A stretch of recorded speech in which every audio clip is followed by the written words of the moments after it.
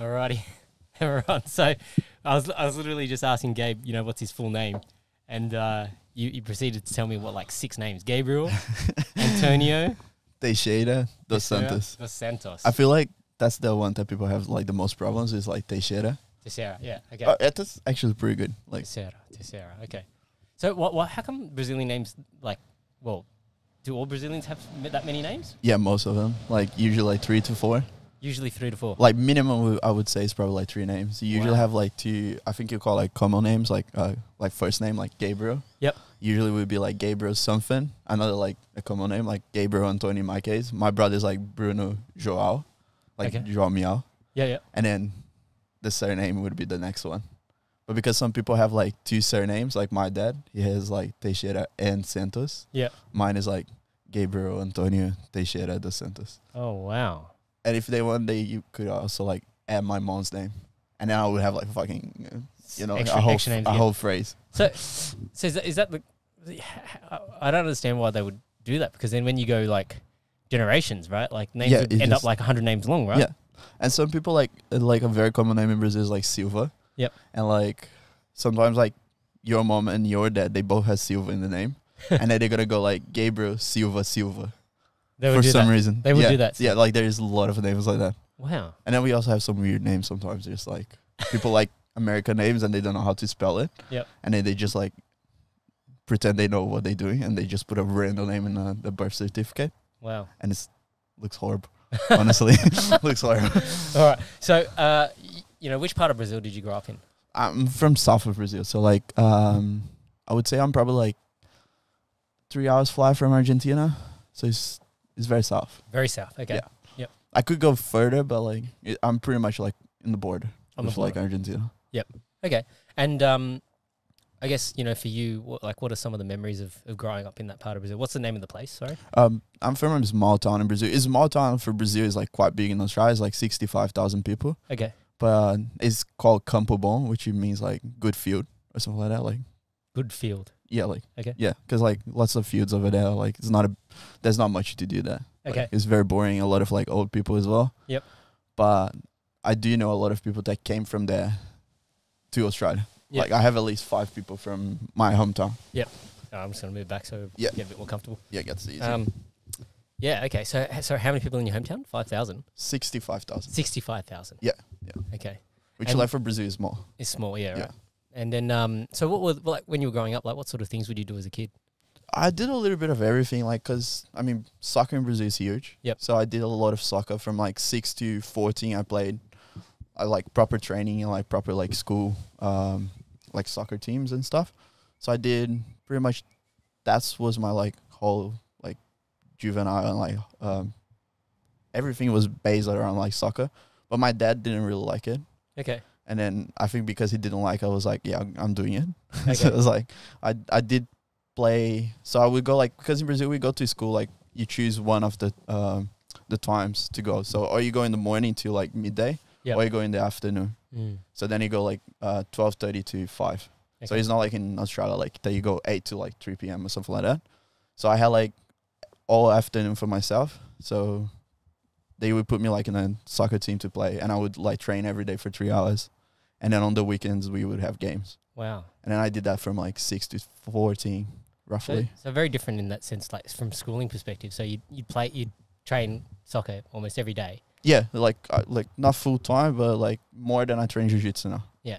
which is quite and, a bit. And was that like done via the school or was that done? No, separately, because like in Brazil we have like lots of teams, Mm. and like south of Brazil we have like pretty much two big main ones. And I got into not juniors, but like uh, year six, seven, 10, 12, and fourteen in like one of the big teams, like the proper league, like the adults league. Yep. And then if you keep going, you eventually might get like a spot on the team and like make money out of it. But I wasn't good enough for that. I was like just enough to play in the teams, play in a few like games and blah blah blah, but not enough to become a soccer player. Yeah. Yeah. And then you mentioned like you know because your dad didn't like it, that's why you wanted to do it. So Yeah, yeah. there, there's got to be more to that story, right? So Yeah, it's because my, my dad is like um I always forget how to pronounce that in English, but it's like karate, you know, like karate. karate. Yeah. So my, like- my dad is a black belt in karate. Oh, okay, okay, So like he always tried to push me to do it, okay. and I was like, nah. You didn't want to do it. That's that's dancing. and then- fighting words, fighting words already. which which style of karate? uh, Otokan, Otokan, Dojokan, Shotokan. Shotokan. Okay, that's it. That's it. Okay, Like he's like a fourth degree black belt now. okay. Like at the time, I think he was like, So he's serious about his karate. yeah, Yeah. now he is again. Like he stopped for a bit. He, I think he got his, he was a brown belt, and then he was going to the national teams in Brazil. Yeah. Like and then, I happened. Yep. And then he kind of stopped for a bit, and then started again once I was born, and then stopped for a bit, and now he's like he's a he's an instructor in Brazil as well. Yep. So like he always tried to push me to do it. I did a little bit of everything. I did like capoeira, I did Muay Thai, I did boxing for a while, Yep. but like only like a few months here and there. And then I never really wanted to do karate because Yeah. like it's not for me. So so uh, was he very pushy about it, or Oh yeah, kind of. Like Yeah. he would be like at least once every two weeks, be like, "So do you want to start?" And I'm like, "Nah, I'm not putting the pajamas." yeah? And then, and then well, you do it for jiu-jitsu now, so yeah, yeah, yeah. Like I end up doing it, so I end up putting the pajamas on. But um, yeah, it was it was weird because he he always wanted, and he would talk about fighting like all day, yeah. like uh, kung fu, muay thai. Like uh, besides MMA, MMA got big in Brazil like 2012, 2013 when like that was like big names, but he would talk about fighting all day. yeah. Like he could at the time he would like just talk about like Bruce Lee and be water. so so he never got into jiu-jitsu, or He did for a bit when I came to Australia. So like before before I came to Australia, I was training in Brazil and then that was one day I was like, Do you want to bet I can beat you in like two minutes? And he was like, Nah, you can't. And I was like, Yeah, I, I do. I bet like and then we bet like whoever lost would pay for the sushi and I yeah? and then it was like 30 seconds. I got him down with a really shit single leg, got him out, and then I tapped him. you tapped your own dad. yeah. I mean, mind you, my, my dad is not old. My dad, at the time, he was like 43 years old. Okay, Now he's like 47, 46. okay. So it's not like, oh, he's an old man. So he's a pretty young, pretty Yeah. young dad, right? So Yeah. so how old was he when he had you? 20? Twenty. Wow. 20. Yeah, my mom was 20 as well. Like, Yep. they both pretty young. Like, I'm 25 now. Yep. So, like, my mom is 47 now. My dad's 48. Wow. 48, yeah. Okay. Yeah, so it so- like beating an old man. Yeah, You know but, what I mean? Like- yeah. what, what, does, what did your mum think about all that? Well, when When oh you, so when they you, when you, when you oh okay sorry go because they they split when I was really young oh okay, so they okay. they do talk a lot but like just as friends like they're not that close yeah because they broke up when I was like six oh wow yeah okay. so like I don't really remember them together Okay. anything so then how uh, would was your time split between them then or how, how did you do that? Kind of was more like because my dad worked worked with my granddad for like most of his life. Mm. so because there was this thing with going to school in the morning and training and uh, in the afternoons. Until I was 14 when I started working was like I would go my mom would uh, wake up with us and then we would go to school my brother and I. And then like we would wake up 6 a.m go to school 7 and then my dad would pick us up at around like 12 Mm. and then we would go to his like because he was living in the next town next to us. So we would go to his like my my granddad's business. And then i would go to training. My brother would just be like doing nothing all day. Or like just doing like anime and stuff like that watching stuff. Yeah. and then in the once i would finish training he would pick me up and i would wait for my mom to pick us up. Because my mom we live in this town and my mom used to work in the same town till my dad was living okay so then she would just pick us up, and then we would go to her house. Yeah. And then during the week was pretty much like that. We would stay with my mom five days a week, and then sleep at my dad's house like once or twice a week. okay Not much, because we we didn't really like uh, staying with my dad that much, just Okay. because like felt like more like home in, with my mom than yeah than with my dad. yeah it's a very different feeling right like you know I think um you know us as guys we're we're probably not as uh, uh what's the right word organized and tidy Oh yeah. yeah Freddie's you want to pop in Freddie No, no, no, no. I was just gonna let you know Jude's not coming in today. He's hurt his shoulder. I know we, we Yeah, yeah yeah. yeah Okay, he just messaged me to tell you. We, we we were talking about it. Shout out to Jude. You know, this is like. Pussy. Mate. uh, anyway, no comment. No comment. So, yeah, he's uh he's he's he's developing a bit of a habit of uh, escaping Yeah. being on the podcast. It seems. yeah I noticed. So we'll have to uh, address that. anyway, um, yeah. So okay, A- and so your brother was he? Is he older or younger? Younger. Younger. He okay. does look older than me since he was 15. It's Really? like he's because I'm what five six, five seven. Yeah. He's like six foot two. Oh, he's a big guy. Fuck, he's huge. Yeah. Yeah, compared to me, like he's he's Yeah. huge. And then he always looked older than me. Once he turned 15, he was like full beard straight Yeah. away. I still trying to grow mine. and like he's like full beard from 15 years old. Like what happened there? yeah, he stole all the good genetics. yeah, kind of. Yeah. Yeah, At least, at least for the height and the beard. yeah and like the blue eyes and Yeah. like looking like fucking. You, your eyes are pretty like what green? Yeah, get greenish. Yeah. yeah. The South of Brazil is very common. It's not that like uncommon having like Yeah. clear eyes. I don't know how you say that in English. Like uh, bright, like bright colors or something. Yeah, bright colors. Yeah, Yeah. yeah. Okay, so then, um, yeah. Uh, so going back to this story about you, you tapping out your dad. Like, what, how did he respond to that? He was like, "Gosh, this really works." Eh? And I was like, "Yeah, I told you." And he's like, "Yeah, I thought I thought it was just like fake." Yeah. I was like, "Yeah, I told you it's not fake." And then somehow he forgot his uh, wallet that day, and I had to pay for the sushi anyways. I was Ah, like, okay. he's Shout still. Yeah, it's been five years that he owes me that sushi. like, I'm a bit annoyed at it still. But it was it was fun. He he ended up st- uh, starting doing jiu-jitsu for a little bit. But my dad has a he got um sci- a sciatic pain, okay. so like he had to do surgery and everything, and he had to stop training for a year or so, and then he tried to do jiu- jiu-jitsu for well probably three four months, and then his pain was really bad. He also has really bad knees. Like it's something that runs in the family. Like everyone has really bad knees, Mm. so he just couldn't do it. It was Okay. like it was too much for him. So w- when you say it runs in the family, so what, what kind of problem do you get with the knees? Uh, my granddad, he and my dad's granddad as well. They both had like um, you know, you have the liquid in your knees between the the kneecaps. Yep. Uh, that liquid eventually runs out in the family for some reason. Like Okay. it just and then it gets really sore, gets really swollen. Especially in winter, it's really hard. Yeah. So like in summer is easy, not that bad. But then when you're moving a lot with your knees, doing a lot of stuff with your knees, it gets gets pretty bad. I don't really have. I'm, I was going to say I don't have knee problems, but I did like a full knee surgery. so like I do have knee problems as well for different reasons. For different reasons, yeah. Yeah. That one's probably just injury from training, right? yeah, it was like a, a really big guy fell on my knee like doing warm up, Ugh. and I just three ligaments went to space, like yeah. MCL, ACL, and LCL. Yeah. Okay. Yeah. That's Oh. actually that's actually a fairly common way that people um get injured. It's not it's not actually when they're doing the takedown. It's when somebody else accidentally lands on them. Yeah, Yeah. So that spatial awareness thing is is so important, especially you know with beginners or people that aren't as experienced, right? yeah, Just to know that you know when you fall, well, you don't want to have fall on somebody because Yeah. you could damage somebody or you could damage yourself. So Yeah. At the time, it was pretty bad because it was just a month before I was coming to Australia at the time, Mm. and then like this guy was like was literally less like a s- simple warm up. So somehow he decided to jump, and he was 125 kilos. Yeah. So like went straight on the side of my knee, and then I he kind of like slide down through my leg Yeah. until I fell to the ground, and I was like, I started crying because I was like, oh gosh, I'm not going to Australia. I could tell like was a Bad. lot was was eight pops that Yeah. I, at least that I can remember was like pop pop pop pop pop, Oh, and I was wow. like, ooh yeah. Was I'm it was he was he doing like a flying guard pull or something? yeah, we were doing like a little drill. To, you're supposed to put the um the leg on the hip and then pull guard. Yeah. And somehow he jumped guard, Oh and then he jumped not high enough because I think because it was too big. yeah. And instead of jumping on my hips, which I probably would be able to hold him, Yeah. so at the time I was lifting quite a bit, and then Jumped on your knee. Yeah. Straight on my knee. Ugh.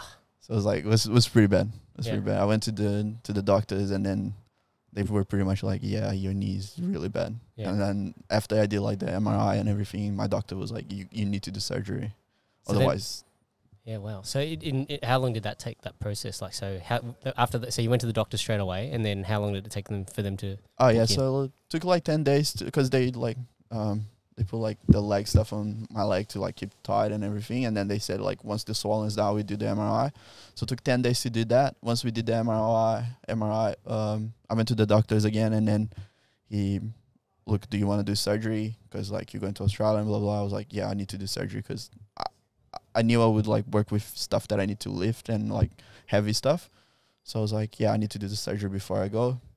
And then took probably like a month to do the surgery after the the injury. Yep. And then once we did the surgery, it took me two months to start training again. Yeah, wow. Like was way too quick. Like Yeah. it was was dumb. Yeah. I shouldn't have done. But like I had like in two months I did seventy five sessions of uh physio. Okay. So then I had like full mobility of my knee. So you really yeah focused on trying to get better. Yeah, yeah, I was because I wasn't working at the time and the knee uh the knee surgery happened because I was coming to Australia in June 2019 Mhm. and then it that happened in May. Yeah. Okay. So it was just a month before I had to cancel my flights, cancel my visa, had to repay for visa and flights. Yep.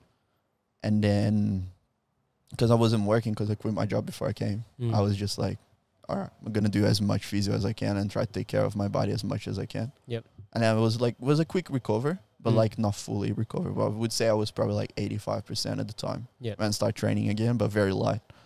And then by the end of the year, I was training like full time again because in Brazil my job was pretty chill, so Yep. I was training full time for the first year. Yeah, I think I think people uh, underestimate uh, their body's capacity to heal, especially if you're doing the work, right? Like if you're doing the physio or you're doing like you're, you're massaging it and you're doing all these sorts of things to try and get it better. Yeah. Um, your body can actually you know heal a lot faster than you think. Yeah. Right. Yeah. Like I I think a lot of the times people get like a knee injury and then they're like they just sit on the sidelines for extended periods of time and they go, oh yeah, it's still not right. Yeah. And and they just you know that become that six weeks recovery turns into like six months recovery. Exactly. And, then they're still complaining that it's not right. yeah, and my physio, the guy that I was doing with, he was um, he only treat athletes. Mm. So he was like, dude, I can, I can get you back on training in two months, but you're going to have to do a lot of work. And when I say back on training, I'm not saying like you're going to be like doing fly arm bars and stuff. you're going to be on the mats, Yeah. like watching the class and like Yeah, be, drilling. be able to move a little bit. I was like, okay, that's what I need.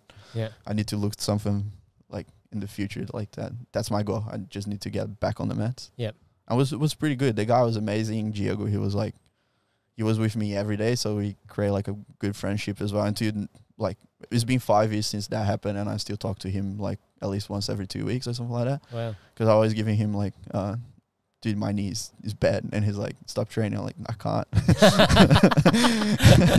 so he's he's quite annoyed at me because like I'm always like, You're geeing him up. yeah, I'm always telling him like how bad my like my entire body is, and he's like, just give yourself like a week. I'm like, "Ah, sorry, I can't, bro. Yeah, just I, I need going." I need to train. All right. So um, let's go back a bit. So when it came to, to school and things like that, like what was school like in Brazil for you?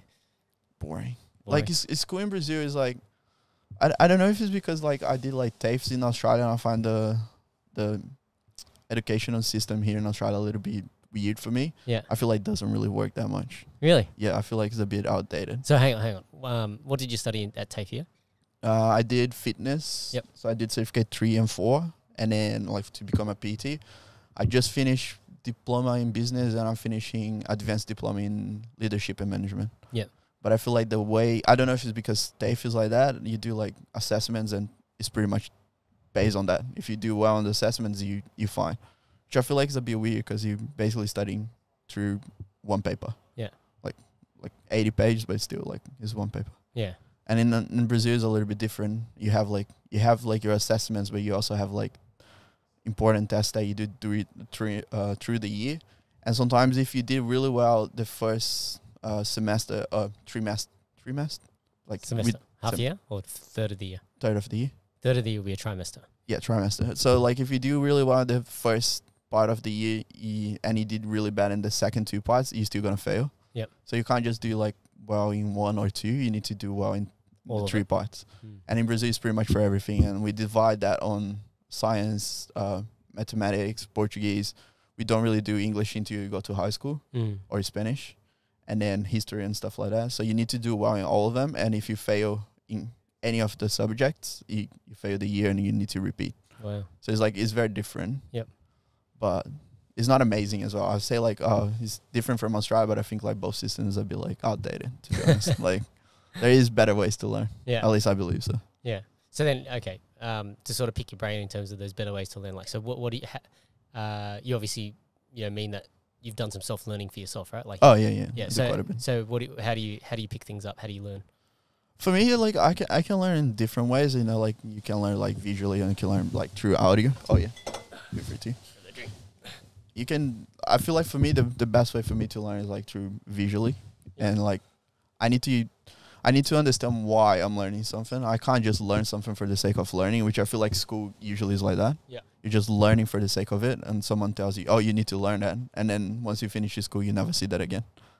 And then I feel like for me, every time We might have missed maybe a few minutes there, but anyway, we're Oh, back. No, so, uh, what we're saying, we're talking about learning. Yeah. So when it came, when it comes to learning things, so what what what do you like, or what's your style of learning? Yeah, like for me, I- need to read and write it down back again if I'm learning something that is a little bit more specific. Mhm. Not as like for jiu-jitsu because I feel like it's a lot of body movement and it's a lot of feeling. Yep. But when I'm studying something like now, I'm starting to learn t- um, IT because I want to see if I can do something like working from home a little bit more. Yep. So I feel like for me, I need to see it, hear it, and like write it back down, Yep. and then just get my own time to like re, re review everything. I feel like in Brazil, at least the way we do it is like the first part of the year, you, see something, and by the end of it, you never see it again, Yeah. and then you just completely forget. it. And then the next year, you don't even remember what you saw in the beginning of the or even the middle of the last year, which is is like what's the point of even learning if you're not gonna remember? You know what I mean? Yeah. Absolutely. So I feel like you need to keep reviewing everything that you learn. So you always do a little back step. You do one, two, three, and then you go back to one, and then four, five, six, go back to two. So Mm. you always keep reviewing everything you learn.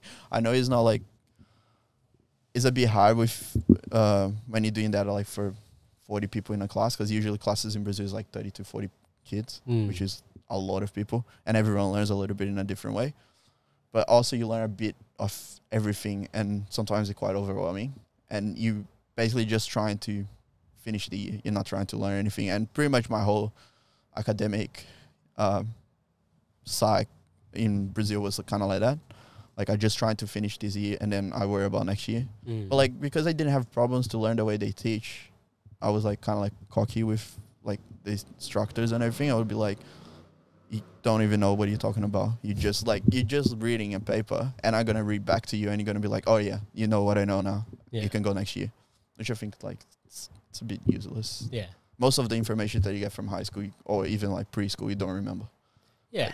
Oh, it's it's a weird one, right? Because it's sort of like it it's so uh, I guess, you know, when you become an adult, you sort of look back on it and you think it's so basic Yeah. that you sort of take it for granted. Yeah, But yeah, you know, if you if you didn't actually grab or grasp some of those concepts, um, they would really make it difficult for you to understand other things. yeah. You know, like even like, mm, I guess you know, and I, I'm I'm speaking about this just because I I see it with my own kids, right? Like, uh, modeling language, like how to say something or how to say this particular sentence, and you're trying to get you know a child to repeat it back to you in the same way. You know, it's, it's difficult for them. You know, they Yeah. i i i but we take it for granted, and then you know if you don't um, address and try and correct some of these things as you go, then they actually become like learning disadvantages in the future, right? Like Yeah. they struggle to pick up things. Because I think you know there's a real like the difference between somebody who can uh, pick something up quickly and somebody who takes a long time to pick it up is that ability to sort of um, infer understanding from based on previous ex- experience. Yeah. Right. So it's like okay, um, you know, I've seen this particular thing before. Let's say it's like you know we're talking about a fruit or whatever. Um, so we can infer some characteristics about what it is. You know, do you eat the skin? Do you not eat the skin? You know. Yeah. Um, if I've eaten a mango before and then I'm eating a pineapple, like, you know, you can sort of there's some similarities, even though the taste is very different. Yeah. Right. And then like you know, uh, so some of those concepts like they really translate over very very quickly, um, and that's why it's like you know if you um, for you, you know, having done capoeira and having tried all these different things, and then you go into like you do s- even just like say doing uh, football or soccer, and then going into jujitsu, like they all actually translate and they help you. Yeah, Um, yeah. Versus if you were somebody that had never done anything physical, and then you try and go into a sport like jujitsu, it would be very difficult, Yeah, yeah, because Right. you have no like body awareness or Yeah. like mobility. Yeah. Even so, right? It's that coordination. yeah. yeah. you don't really know how to do it. I just feel like for me, like the problem with the system, the way we do in Brazil, is a lot of stuff that. But I feel like in Australia is, is similar to that. Like you don't really learn things that you could use more once you get out of your like you go get your first job. Mm. And like especially in high school, I felt like in Brazil, my most of my high school was a bit of a waste. Was just I felt like my high school was just to try to get into uni Mm. because everything you're learning is is about it in a test that you do in Brazil, and then if you do well, you can go to any uni you want. And I did pretty well. I I got two scholarships in Brazil, which was pretty good. Yeah. I ended up never doing it. Like I went to the first week and I decided to come to Australia. but whoa, whoa, whoa! we got, we, hey, uh, stop, stop. We're gonna talk about this. So, okay. So, what did you stu- What did you study in high school?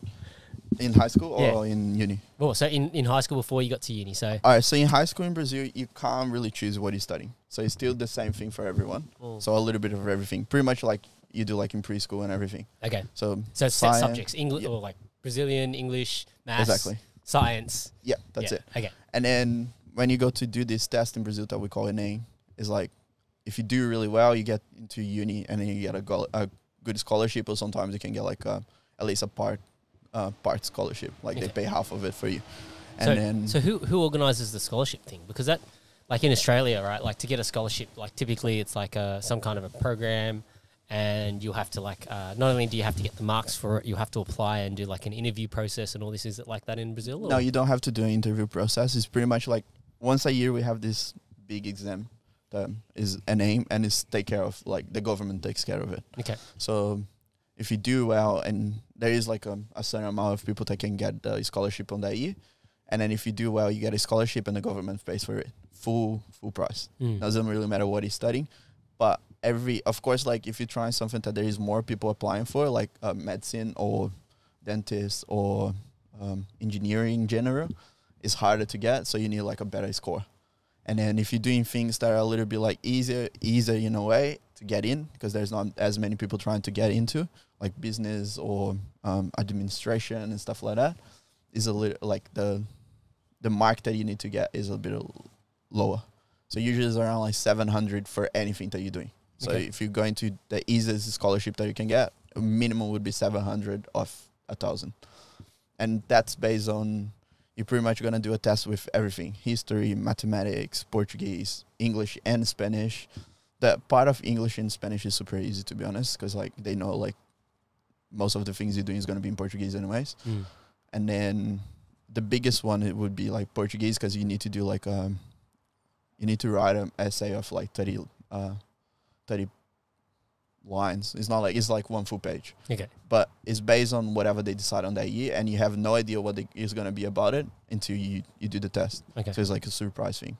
Yep. So every year you change the subject and then you need to do really well. And I was really I was pretty lucky that at the time was things that I was into it Mm. the the three times I did twice. I did no, I did three times. I did one before I finished high school, and then the only problem with this test is if you do before you finish high school, you can use that to not go to high school anymore because you it's a test based on high school. Oh. So let's say you do the first year and you're 16 years old. Once you finish, if you do well on the test, you don't have to. You can like just apply and not go to high school anymore, and pretty much like finish your year. Like you do like year 11, 12 here. Sometimes Yeah. you don't finish year 12. In Brazil, to not finish and you still get the grading of like high school, you need to do that test and do really well. Could you go to uni from there as well? No, ah, Oh, because uh, okay. you So need to still gotta choose. do it again. Yeah, you need to f- choose between finishing high school or going to uni. But you can only go to uni once you finish high school. Okay. So it's kind of like you need to So it forces you to do it another two years. Yeah. Yeah. Pretty much. Or you go get out of high school and you go back the next year, do the same test. Yeah. You don't need to be in high school to do the test. Like my mom did when she was 30 and she got a scholarship as well. Wow. Okay. Yeah. Because And so, so when, when you say a scholarship, so the, the government obviously pays for everything. for everything. Do you have to pay them back? No. No. No, So it's full, full full scholarship. scholarship. Yeah. Wow. Okay. Which is That's it's- pretty good. It's pretty good. Yeah. Yeah.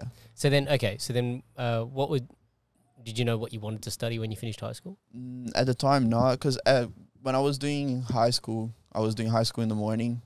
I got up once I turned fourteen was when I got into high school. I Mm. finished. I would finish high school at like eleven thirty, and I would go to a part time job in the Ivor, and then at night I would do a TAFE. So I did uh, building engineer kind of thing. Mm. So like I can, it's kind of like an architecture thing, but Mm. for not a bachelor. It's pretty much a TAFE. Yep. And I did at the same time I was doing high school. so- okay. Whoa, whoa, whoa, whoa. So at, f- Yeah. at fourteen, how do you decide to do all this? Oh, I didn't decide. My my dad was like, I did some pretty. Um, before I got into high school, there was a date that I decided to bring alcohol to the school. But Okay. like I I brought like this much, and the next days everyone was like, oh, "Let's bring alcohol." And then because I brought one day, like was honestly wasn't even a sip. It was something that I found in my fridge, and I was like, "Oh, that would be fun. The guys gonna like it." And then the next day, everyone decided to bring a lot of alcohol to, and like keep in mind, everyone was like 12, 13 at the time. Yeah. So then the school got really mad about it, and they called my parents on, and they were like, because everyone decided to just blame me. Like I didn't even bring the data. like the school found out that people had alcohol in school. I didn't even bring anything, Yeah. and then everyone decided to be like, "Oh, it was Gabriel's idea." So I pretty much took the blame for everything.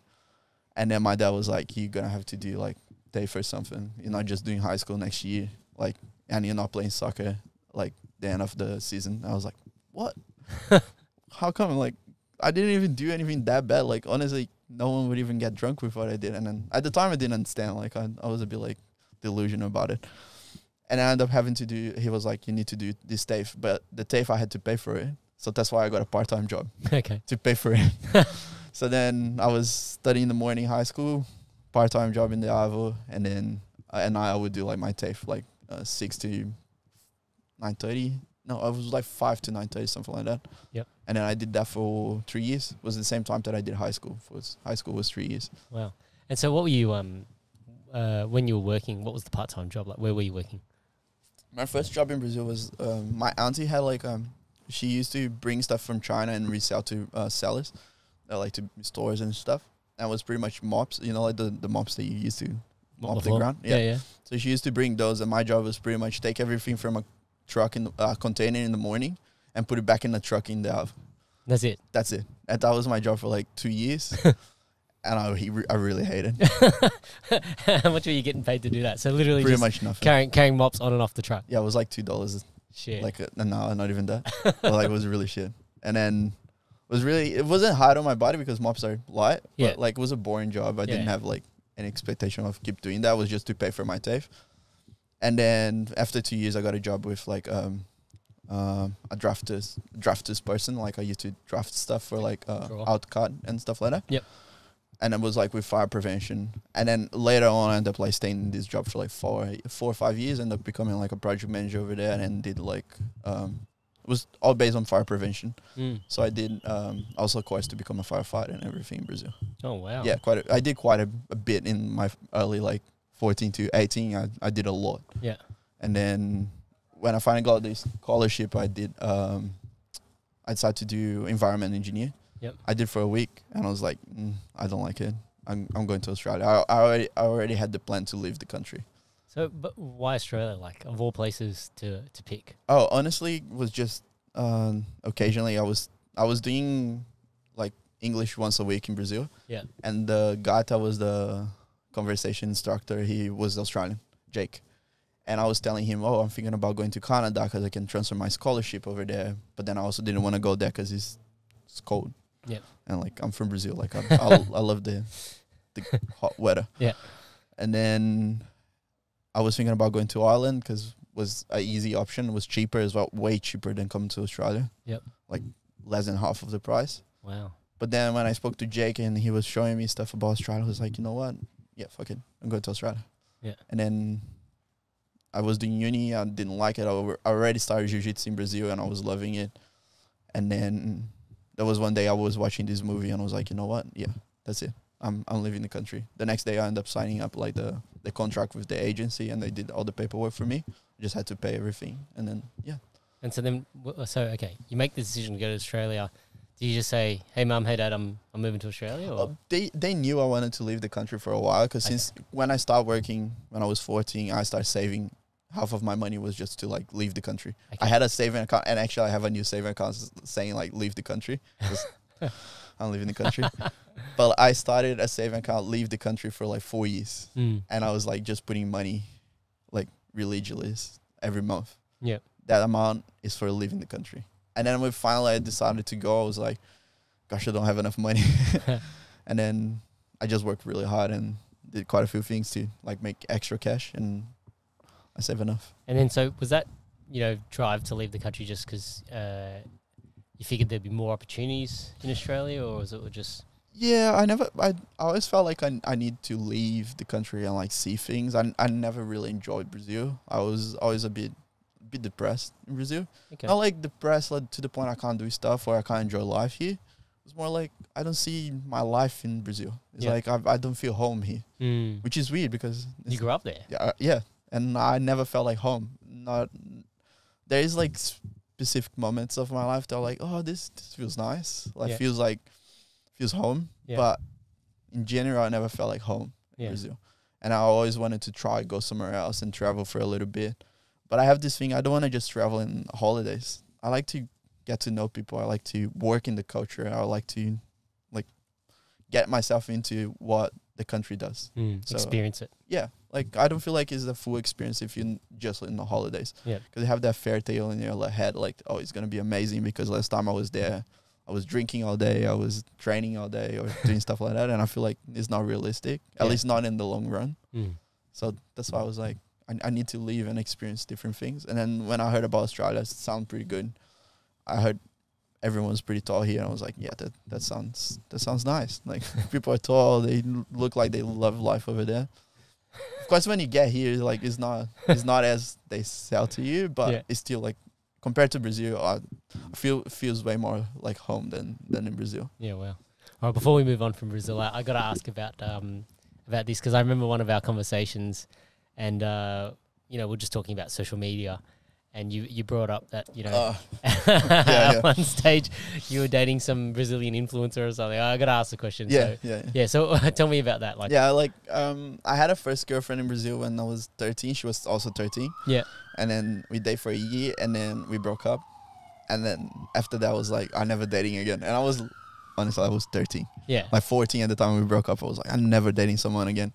Two months after, I met this girl, and she had like she had a few followers already. She had like probably like 20,000 at the time. yeah. And I remember like telling my friends, dude, she looks like Lana Del Rey. And I was in love with Lana Del Rey at the time. I was like 15, 14.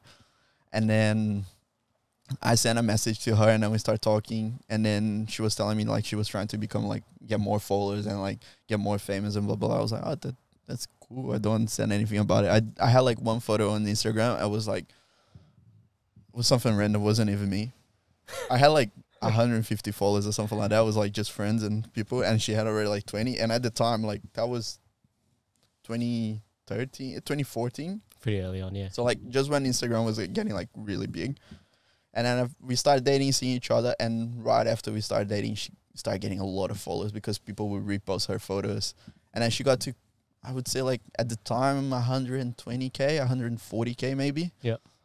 But like her life was just like taking photos and like that that was her life, just taking photos and photos. posting. And so, we we like, I guess I'm a bit curious about this because you know when somebody says to you, and this is your partner at the time, you know, I want to be like a, I guess you want to be like an influencer, right? Yeah, yeah. Um, so when you guys would go on like dates and stuff, would she just be always taking photos? Yeah, of everything. Everything. And because like we were both like teenagers at the time, like I would go to her house on the weekends, and like her parents love me. I love them. I still talk to her mom until nowadays. Really? Yeah, it's been five years since we broke up. still talk to you. I still talk to her at least like four times a year.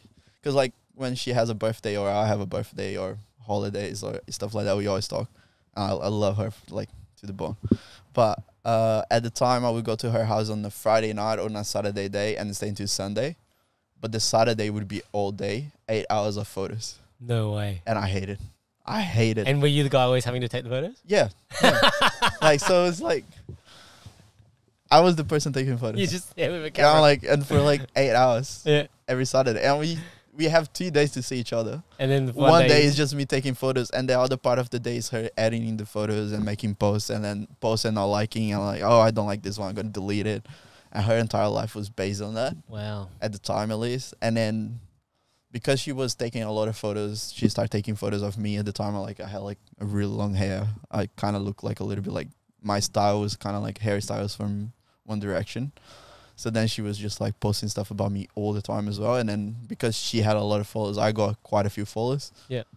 And then it was like four years of that, and I was over it. I was like, her life was pretty much like I go to high school in the morning, go back home and take photos all day. And I was like already like grinding. It was like I was 14, working already, doing Yeah. TAFE, and I, I didn't have time for anything. And then once I started doing jiu-jitsu, it was even worse because then I was like, I don't even want to go see you on the, on the weekends because What are you gonna do? Take photos? Yeah, like I need I need to train on Such a massive disconnect, isn't it? Yeah, it was like it was very like like we we were good together. We weren't like a bad couple. Yeah. But like we were also teenagers. So Yeah. You can't really count that No, as a full relationship. Yeah. It was four years, but it was like we see each other like twice a twice a week. Yeah. Yeah. It's a yeah. I always uh, find that to be an interesting thing because you know there's when you have like a a massive following, um, there's a real disconnect there between you know what life is like in reality versus what life is like online, right? And Oh. yeah, so definitely. you know you, you're seeing on the other end, you know, like to her followers, they're going, oh. She must have the best life. Yeah, yeah, Right? and And then meanwhile, you know, Gabe's there eight hours grinding away. his fingers, his fingers gone all blistered from pushing the pushing the button on the camera. it was it was pretty much like that. Like, Yeah. and honestly, I felt like because she had like like I wasn't rich in Brazil, like not even close to that. Like my family, my mom's family side was very poor at the beginning of like my mom's life and everything, and then Mm. my dad's life was a bit better than my mom's, but like not like that we have a lot of things to like. My mom like at least until when I started working, we were like living paycheck by paycheck Mm. because like didn't have much. And then her life was very different. She had like a stable family. Her parents were still together. My family were like at the time i was already 15 so they were they had it split for 10 years at the time.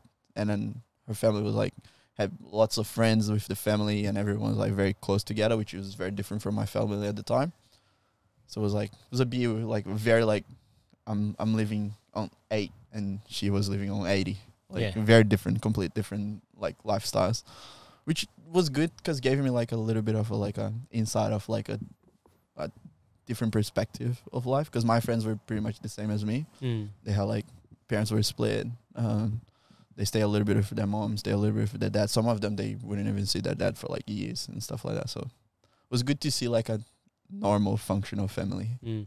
Do you think? Uh, I'm curious, curious about this. Like, uh, does that shape the way that you view relationships for yourself? Like, what you want out of a relationship in the future? Uh, at that time, that one did for a bit, not compared to like my last relationship. I know we're gonna We'll talk about that, that. later. but uh, at the time because I was young and I was like was just hanging out. I didn't have like that much of like oh, it's not like we in love. It's not like oh, we're gonna like get married. Yeah. Because from the beginning, she already told me like oh, I want to have kids when I'm 27 and blah blah. And I was thinking, dude, I'm I'm 15. yeah, I, I'm not having that's kids. 12 years. yeah, like I'm not having kids. And then I still think like I'm not gonna have kids, but I don't know.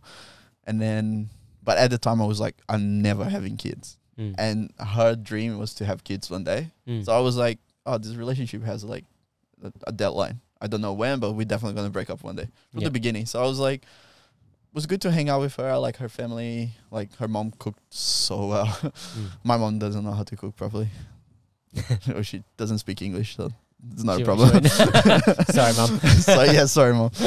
Uh, I cook better than her for sure.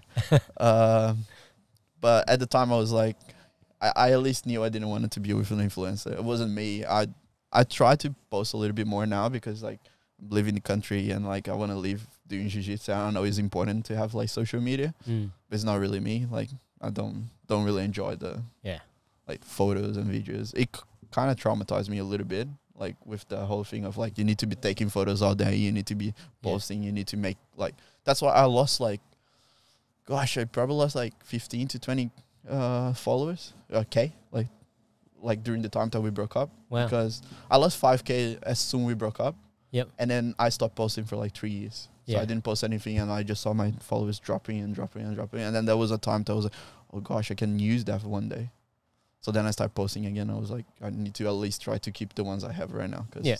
Well, th- there'll also be a little bit of a um, a transition as well in, in that follower base. Like I think Oh yeah. one of the things people don't think about, like, um, you know, and I, I can only speak to this because you know I've I've got like these side accounts that nobody knows that I really got because I've never mentioned what the, what the names are and things like that. But like one's like 160k, one's Yeah. like they're they're decent amounts, right? And so um, I did I did recently actually just switch one over for for a business that I've got going on. So you know that that follower base will adjust, right? Yeah. and it's bound to lose some followers. Yeah. um, but that's okay. I'm not really too worried about that. But it, you know, I'd rather have a head start and have you know eighteen thousand followers and start from zero That's have what to I thought. back up, right? That was the same thing I thought. So it's the- it's the same thing, right? Like you you know at least you're starting from you're not starting from zero again. yeah. Because it's much harder once once you start from the from zero ground. Yeah. Because I, I thought myself like, all right, the followers I have right now at the time when I start posting again, I was like, it's people from 16 years old to 25, Mm. and they into cute guys with long hair. I'm posting about jujitsu now. yeah. It's a complete like the demographic shift. Yeah, it's completely different. And now when because I I still have the like the um, the business account. Yeah. So I can see like what is my follower base, and if I had I don't have a print from when I was younger. Yeah. But if I had a print, you would see like because went from like eighty nine percent girls. Yeah. To like seventy percent guys now. so it's like it's, it's I'm like uh, just like people that love see me hugging people. Yeah. Like and before you'd be like just people want to see my long hair. Yeah. And stuff like that. Yeah. Total shift, right? Yeah, completely. Yeah. Out, out of curiosity, you know, did she make much money from? Oh being- yeah, quite yeah? a bit. She did quite well. Yeah, she was doing well, and then she decided to sell her Instagram, which I thought was dumb.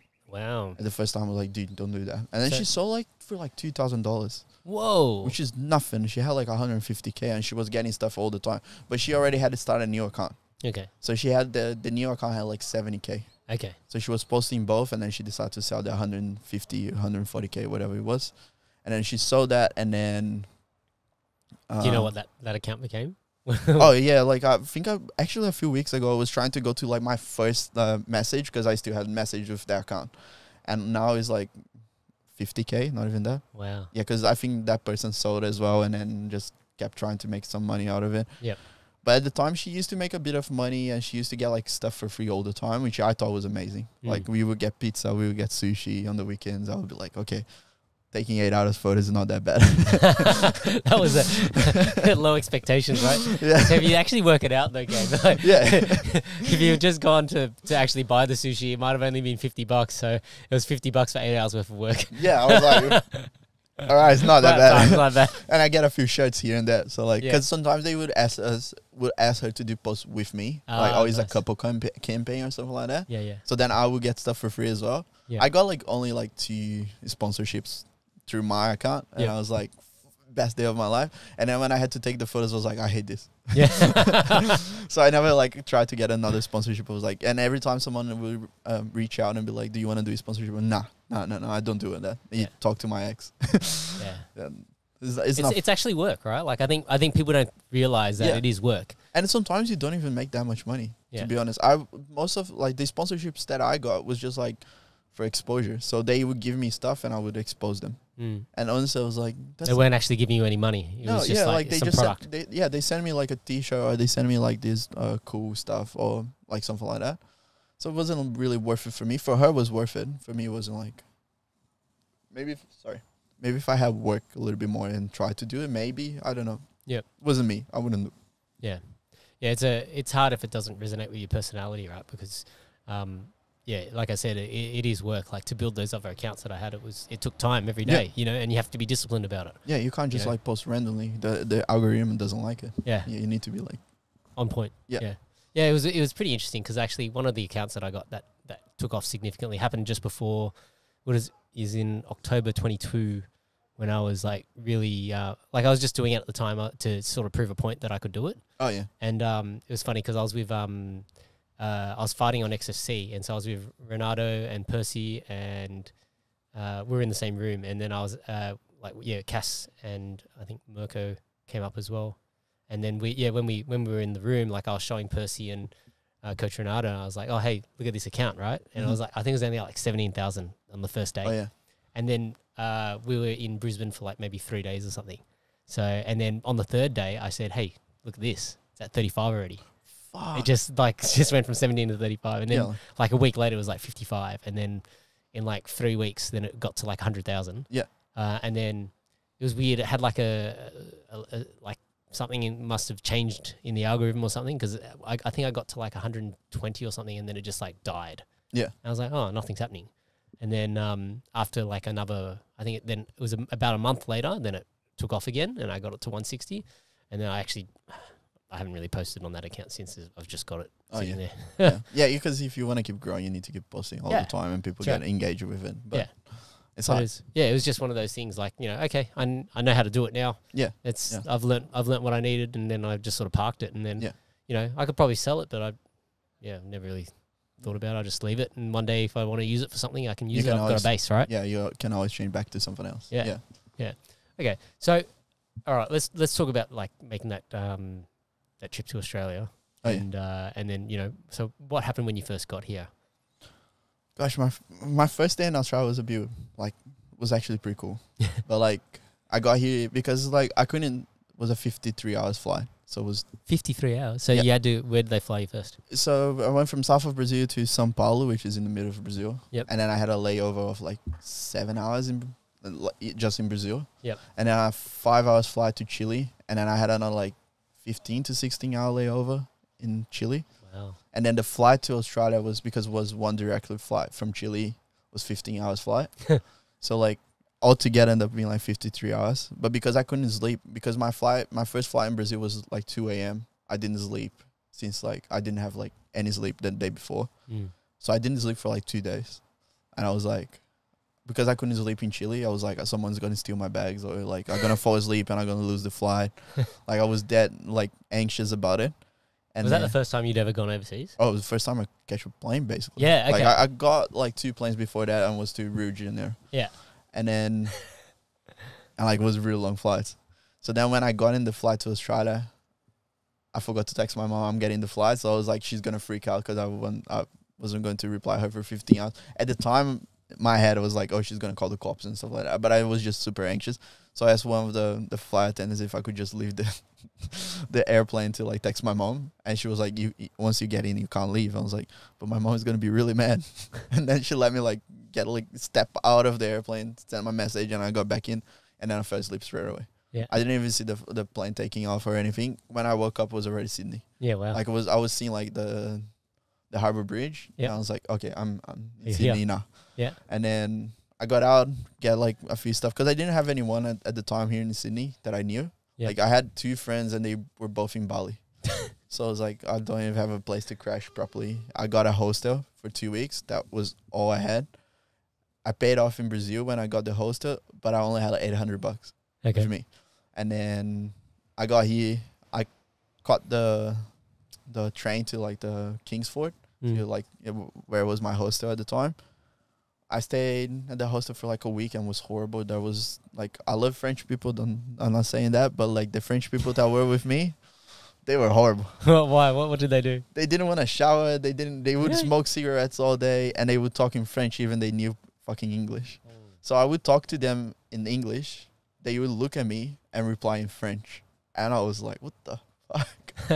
and then sometimes I would see them speaking English. That was I was like, oh, you guys know. English. Like- yeah. like, you just not- purposely speaking just French don't back to want me. to You don't want to talk speak- to me. So then I left that place. I did like my RSA, my white card. I did a bunch of jobs in the first year because I got here just December 2019. Mm. And then right after was like COVID, right? COVID. Yeah. So And, what like, jobs did you do? What did you, what jobs did you get to do before you Um, lockdowns? I did removalist, like uh, moving furniture from houses. Definitely the worst job I ever did.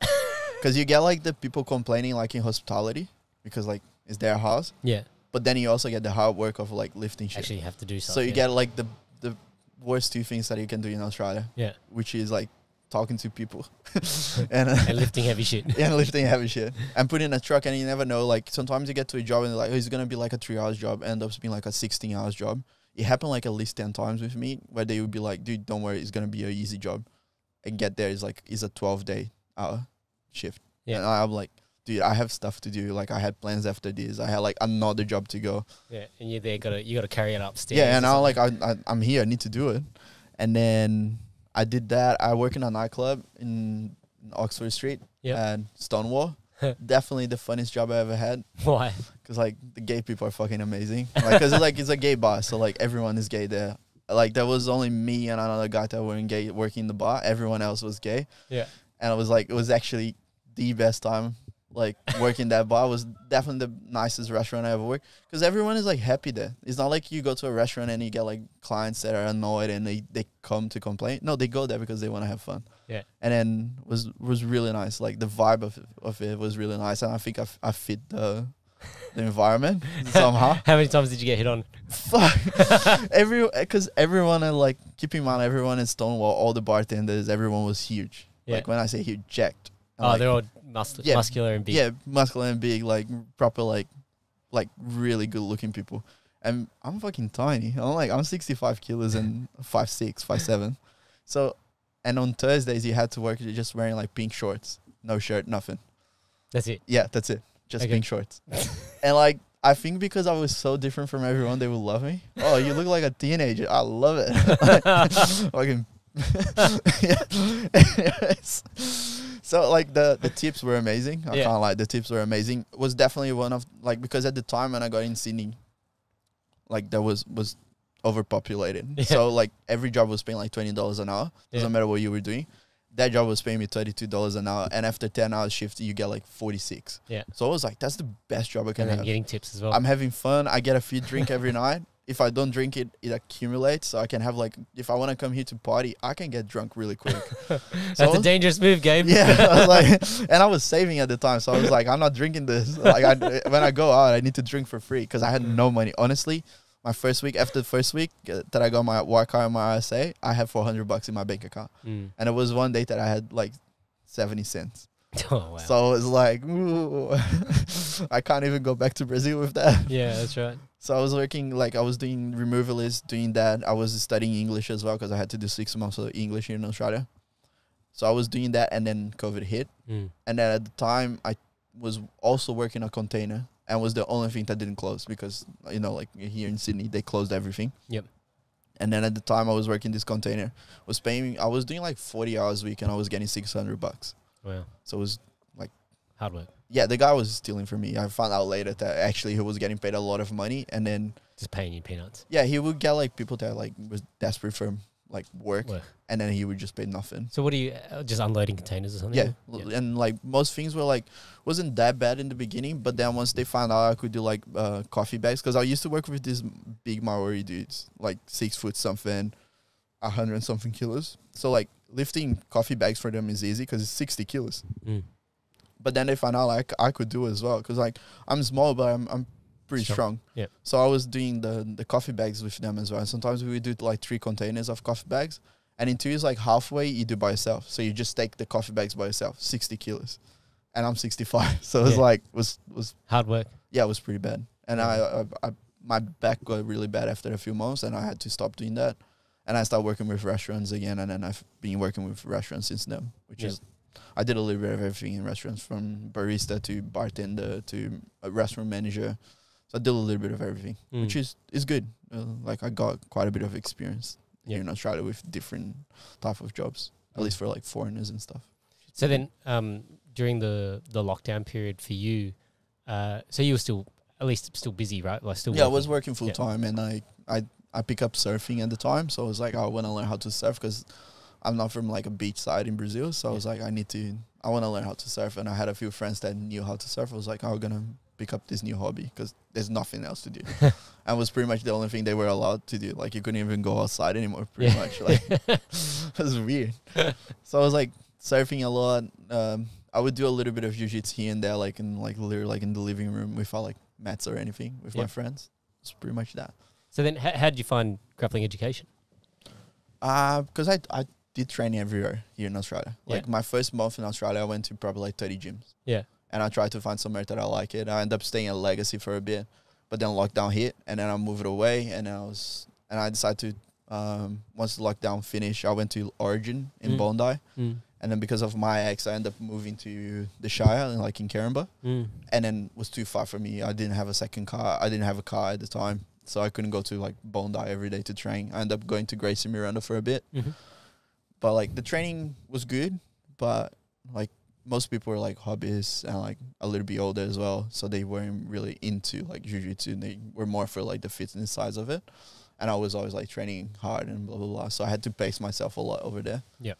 and then i decided to as soon as i bought a second car i was talking to mario one of the guys from the gym that actually was training with me at the time. And i was like dude i, I, I really need to like get back into training really hard because in brazil my gym was like really hard Mm.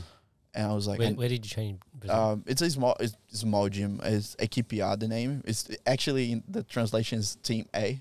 Team A. Yeah, so instead of like B team, it's like A team. yeah, that's literally the name. And they have now they have like forty two gyms now. Like Wow. my coach, yeah, he has a lot of Okay. gyms now in Brazil. It's a big association, yeah. Yeah, yeah, like huge. And the headquarters is on the competition, so it was. I, and I started the headquarters, so it was like I learned from Guys who are competitive. yeah so like I, when i came to australia it was a big like oh gosh a lot of hobbies but i didn't realize because it was my gym was like that A competitive. at the time i didn't realize oh i thought just jiu-jitsu here wasn't that good until i started coming to gyms like grappling education sydney and blah blah blah Mm.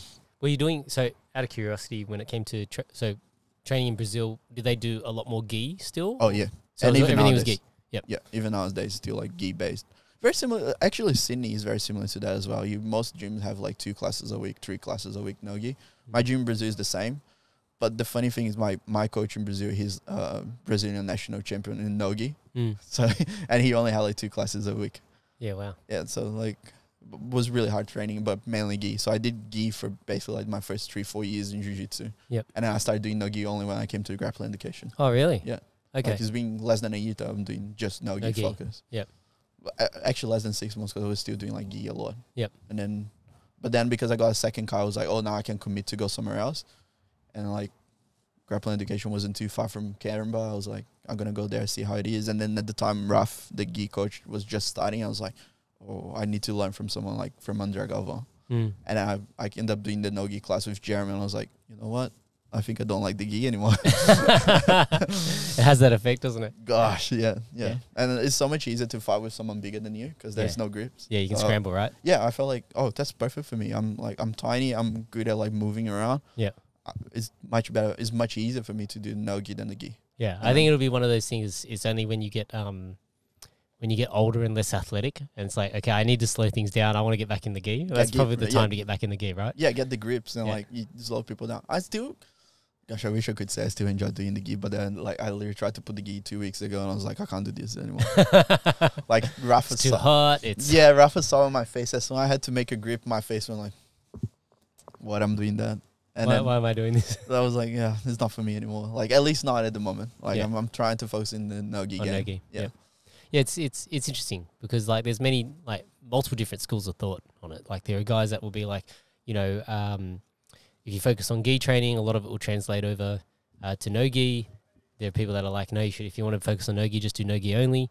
Um, because oh, yeah, at the end of the day, you can't use the grips, right? There's Yeah. no grips when when you go to no gi. So if you have a a, a grip dominant game, then you know it's It doesn't translate doesn't well. translate at all. Yeah. You know, if you're a guy that plays spider guard, it's pretty hard to play spider guard and Yeah. no gi. Yeah, anything So- with like collar sleeve is really hard to translate. And my game, in, that's why I felt like I, I was a bit out of place when I started doing nogi, because my game was De La Riva and collar sleeve. Mm. So like as soon as you go to nogi, De La Riva works if you like very active. If you're a little bit lazy, I was a very lazy like De La Riva player because like, at the gym I was training, I could be lazy Mm. until I came to grappling The I was like, oh, oh gosh, I can't be lazy anymore. Yeah, people need- are controlling this opposite leg. Yeah. Yep. And so I now, I now I need to start switching my game. And I feel like it's the opposite. My game in Nogi doesn't translate at all to the gi. and then when I'm gonna play gi, I'm like, gosh, I'm getting smashed. And It's I, depressing, isn't it? yeah, it is, it is, because it feels like I'm like I start getting something, but I'm losing somewhere else, yeah, which is it's fine because I don't want to do it anymore. yeah. So, at it, I guess you know if we go a little bit more down the jiu-jitsu rabbit hole, uh, in terms of like training styles. So uh, I'm a bit curious about like what the training was like in Brazil um, at the A team, and then obviously like if you were to compare that to say being at grappling education, like the f- the focus in terms of like um, class structure, how they teach, right. you know, what are the differences and Being honest, like grappling education is the place the most similar that I had with my gym in Brazil. Like similar vibe, um, besides the coach being a really nice guy. like so yeah, the coach at the A team wasn't nice. nah, he was like he was like he wasn't a nice guy. Like Were, were they very big on? Because that's you know I guess um the whole, whole creonte thing, right? Like some some. oh no no, that's something that I learned in Australia, the Creonte stuff. Yeah. Because the thing is, like my gym in Brazil, because we have so many gyms, and my coach was always like, he's really like well known in Brazil, like south of Brazil at least. So I would have days that I would go to the gym, and then he would be like, "Dude, we're going to this gym. Do you want to come with us?" I'm like, "Yeah, definitely." And we would do like that once a month, at least once a month. There was a month that I trained more in other gyms with my coach than at our gym Wow. because he will literally like, oh, I know this guy. Like, we're going to his gym and do like a kind of like a dojo storm thing, kind of thing. But I was like, Without the challenge, it wasn't a challenge. yeah, we fought the challenge, Yeah. but like he would bring like, five guys and yeah, usually he would bring like his best, Best students guys, and yeah. me, and then we would like go and train like everywhere. And like when I came to Sydney, I started seeing like gyms. I don't want to say names. Can I say names? yeah, you can say names. Oh yeah, the fucking Legacy and Gracie. They're like you can't go anywhere else. yeah, And I felt like that was I don't know Legacy at the, at the time. Now I don't know because we have people from that train everywhere Yeah, and yeah. people from Legacy that come here.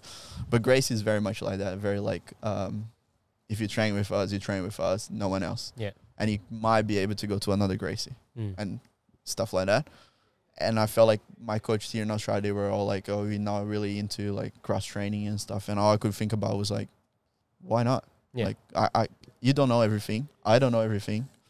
And you might not even have the same game that I have. So why would I want to learn from you everything? Yeah. Like I rather learn from someone that has a similar body type, a similar game.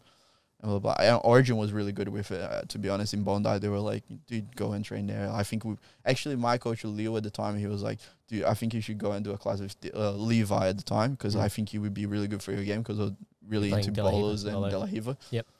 And I, I felt like, "Oh, that's really good." And then when I moved to other gyms, they were like, "Oh no, no." And actually, it was a it was kind of like a bit of a bitter time, and I left my older gym because I came to Grapple Education because they felt like I was betraying them. But when I moved to my last gym, I was training two places and wasn't a problem at the time. So I couldn't understand why it was a problem now for me to train two places. Mm. And then when I came to Grapple Education, I saw Kel telling people like, dude, go to Sydney West to do this or go to Sydney Wrestling to do this. And I was Mm. like, oh gosh, they actually like the cross training here, Yeah, which is important. Like you, you need to do cross training. I Yeah. feel like you can't learn everything from one person. yeah. I Well, feel it's it's one of those things, right? Like if you're not, um, and if you're a competitor, right, you either got to compete so regularly that you already know sort of like you've had experience c- competing against people from all the other gyms. Because that's the only Yeah. other way that you're going to cross train Exactly. technically, um, without you know being at a place that's open doors in the sense that you know you t- you can go wherever and train wherever. Yeah. But like I think that's you know.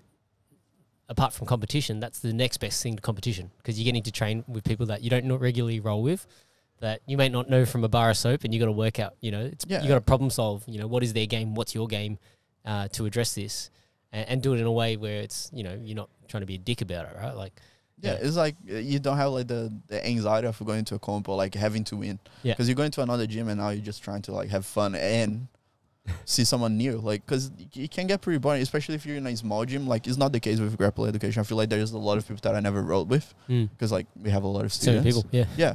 And sometimes like I, I pick I try to pick now more often my partners that I'm training with because I'm working on stuff and I feel like I can't just roll with big people all the time. So I try to choose like the people that I I know I can have a really hard round and still gonna learn from it. Yeah. Because I haven't like developed the game to beat them yet. yeah, But then also I still enjoy like going to other gyms. But now more often I feel like I don't need to. Especially Mm. because we have so many coaches and grappling education like it and people are coming to to the Exactly. classes to cross train here, all the time. so the time. it's So I just one like- of those things. and I don't like paying the the drop-in fees. Like, I feel like I, I do every time. Don't get me wrong, I do pay the drop-in fees You're every good- time. I man, actually I ask them to pay. I'm like sometimes they're like, no, don't worry about it. Like, no, no, no, dude. I want to support the gym. I'm here using this space. But then sometimes they are asking for like forty bucks a, a class. I'm Yeah. like, dude, I'm, I'm not here to learn. Just here to roll a little bit and like have fun with you. like we both can learn from this experience. Yeah. But forty bucks. You're a good man. I, Yeah. I, I'm, I'm like in this, yeah. Like I'll, I'll, I'll drop in, but you know, I'll uh, Like- if if you if you want me to pay, I will. But you know, yeah, yeah. I, I travel for work, so it's I like just feel like sometimes I go I get to- to go plenty of places to train. You know, Yeah, you can't be paying everywhere you go as well. and oh, like oh, I think it also depends. Like there's there's, I guess you know, there's a little bit of a value exchange too, right? Like a lot of the times, if I'm traveling, I'm traveling to do a podcast. So it's like, okay, you know, if you guys have got a session on, like, let's roll beforehand. Because I always like, I, I like rolling with my guests. I like, I like training with people that I've, you know, that I that come on the podcast as well. Yeah. Because it's like, it's good to sort of, um, and this sounds really, really weird, but like, I think, you know, when you're when you're like training with somebody or you're sparring or whatever, you're rolling, whatever, you you learn a bit about that person. Oh, that definitely. That you know that it's it's it's it's unspoken, right? Yeah, you get that persona of the person. Like Yeah. you have an idea of like if it's Who they are, yeah, right? because you only see like how like someone if someone is a dick, you're gonna see during a roll. Yeah. Like if he's like that during a roll, and you know he's similar to that. Not not every time. Yeah. Like especially with competitors. Yeah.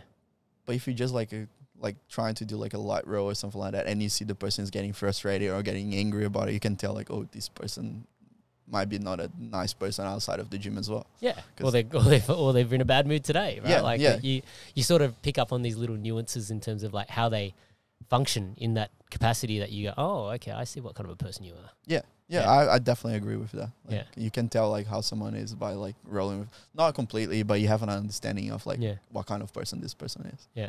which is yeah. But that's why I ended up coming to grappling education. Was like I need hard training, and then the first day I was like I got bashed, and then I felt like the first class I had in Brazil. Yeah. So then I was like, you know what? I don't care. I'm I'm moving here. Yeah. And because I moved here, my other friend Mario, that we were talking in, like about it, like coming to the grappling education for a bit. He had decided to quit the gym as well that we were training together and came with me. Mm. And then like a week after, and yeah, it was pretty much that. It was it was good to have someone that I knew, but like I'm, I made friends really quick here. Like everyone's so nice. Everyone's like, some of them look very in the spectrum. you, you should name names here.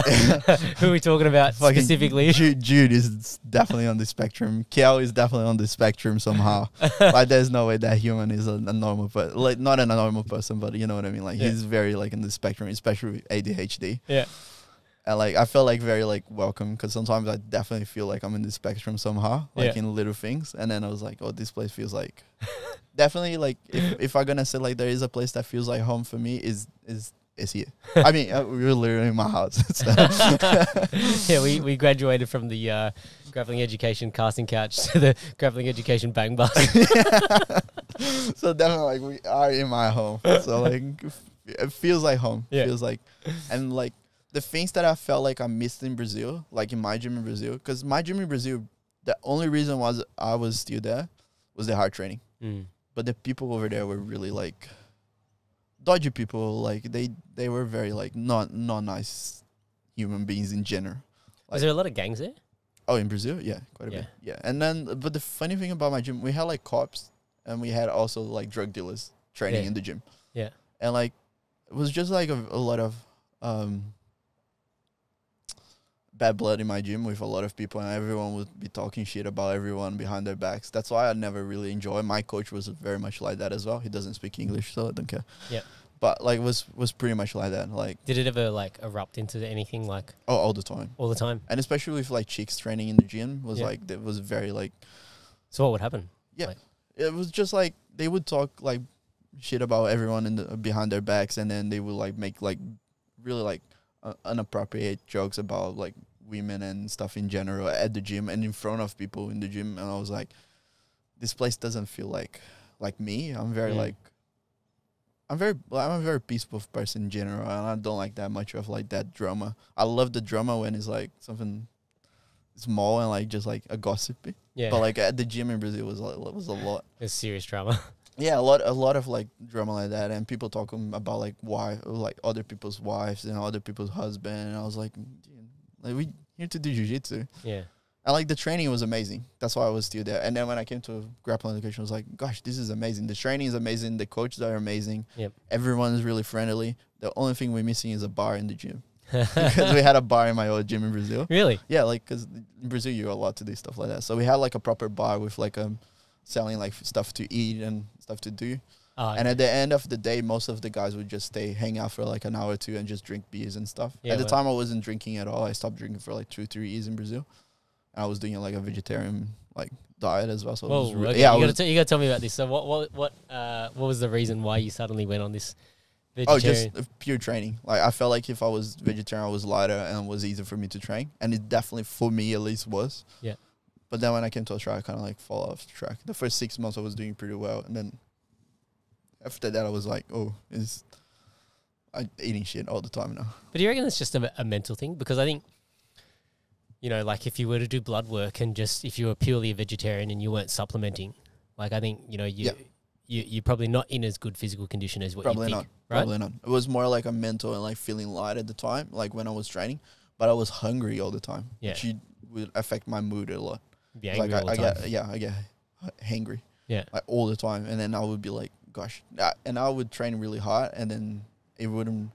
I think because I did for a short period, wasn't too bad. But I think if I was going to do the same way I was doing for like a year or two, I would probably just like have um, anemia or something like that. Yeah. like my blood wouldn't like keep up with it. My body wouldn't keep up with it. yeah, because that's you need that- to supplement. Yeah, like I think I think part of you know uh, when people talk about vegan superpowers, right? Like if you're a vegan and you and you feel like you're this you know holy kind of being, Yeah. You know your body's not a, a graveyard of chicken bones, so to speak, Yeah, right? Like I think that's it's really just a mental thing. You're not Yeah. you're not actually don't really have any superpowers from No, eating no. in that particular, just like particular fashion.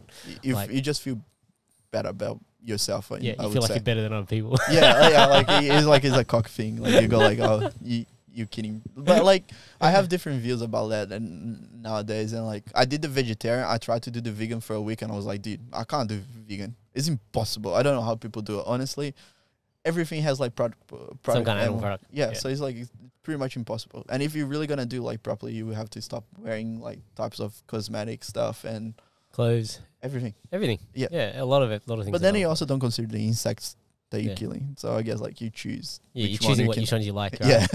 Yeah. yeah, it's a bit weird, but not my place to say. You know, uh, I'll, I'll bring this up, and you know, if you, if anyone loves Tim Tams out there, uh, if you actually actually look at the ingredients of Tim Tams, like it's it's got um, crickets and cockroaches in it. Yeah. Um, I think it's annatto or something like that, and um, there's a cochineal.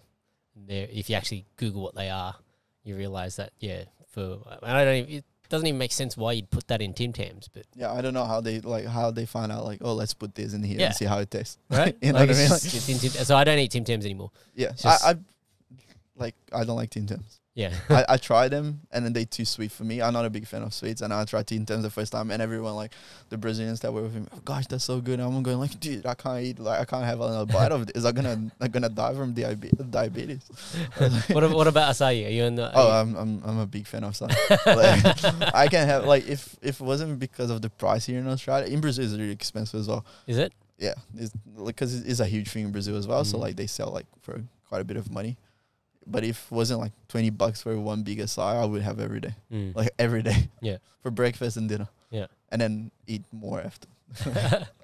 now I gotta ask about the the tattoo on your neck. It says "Time in a Tree."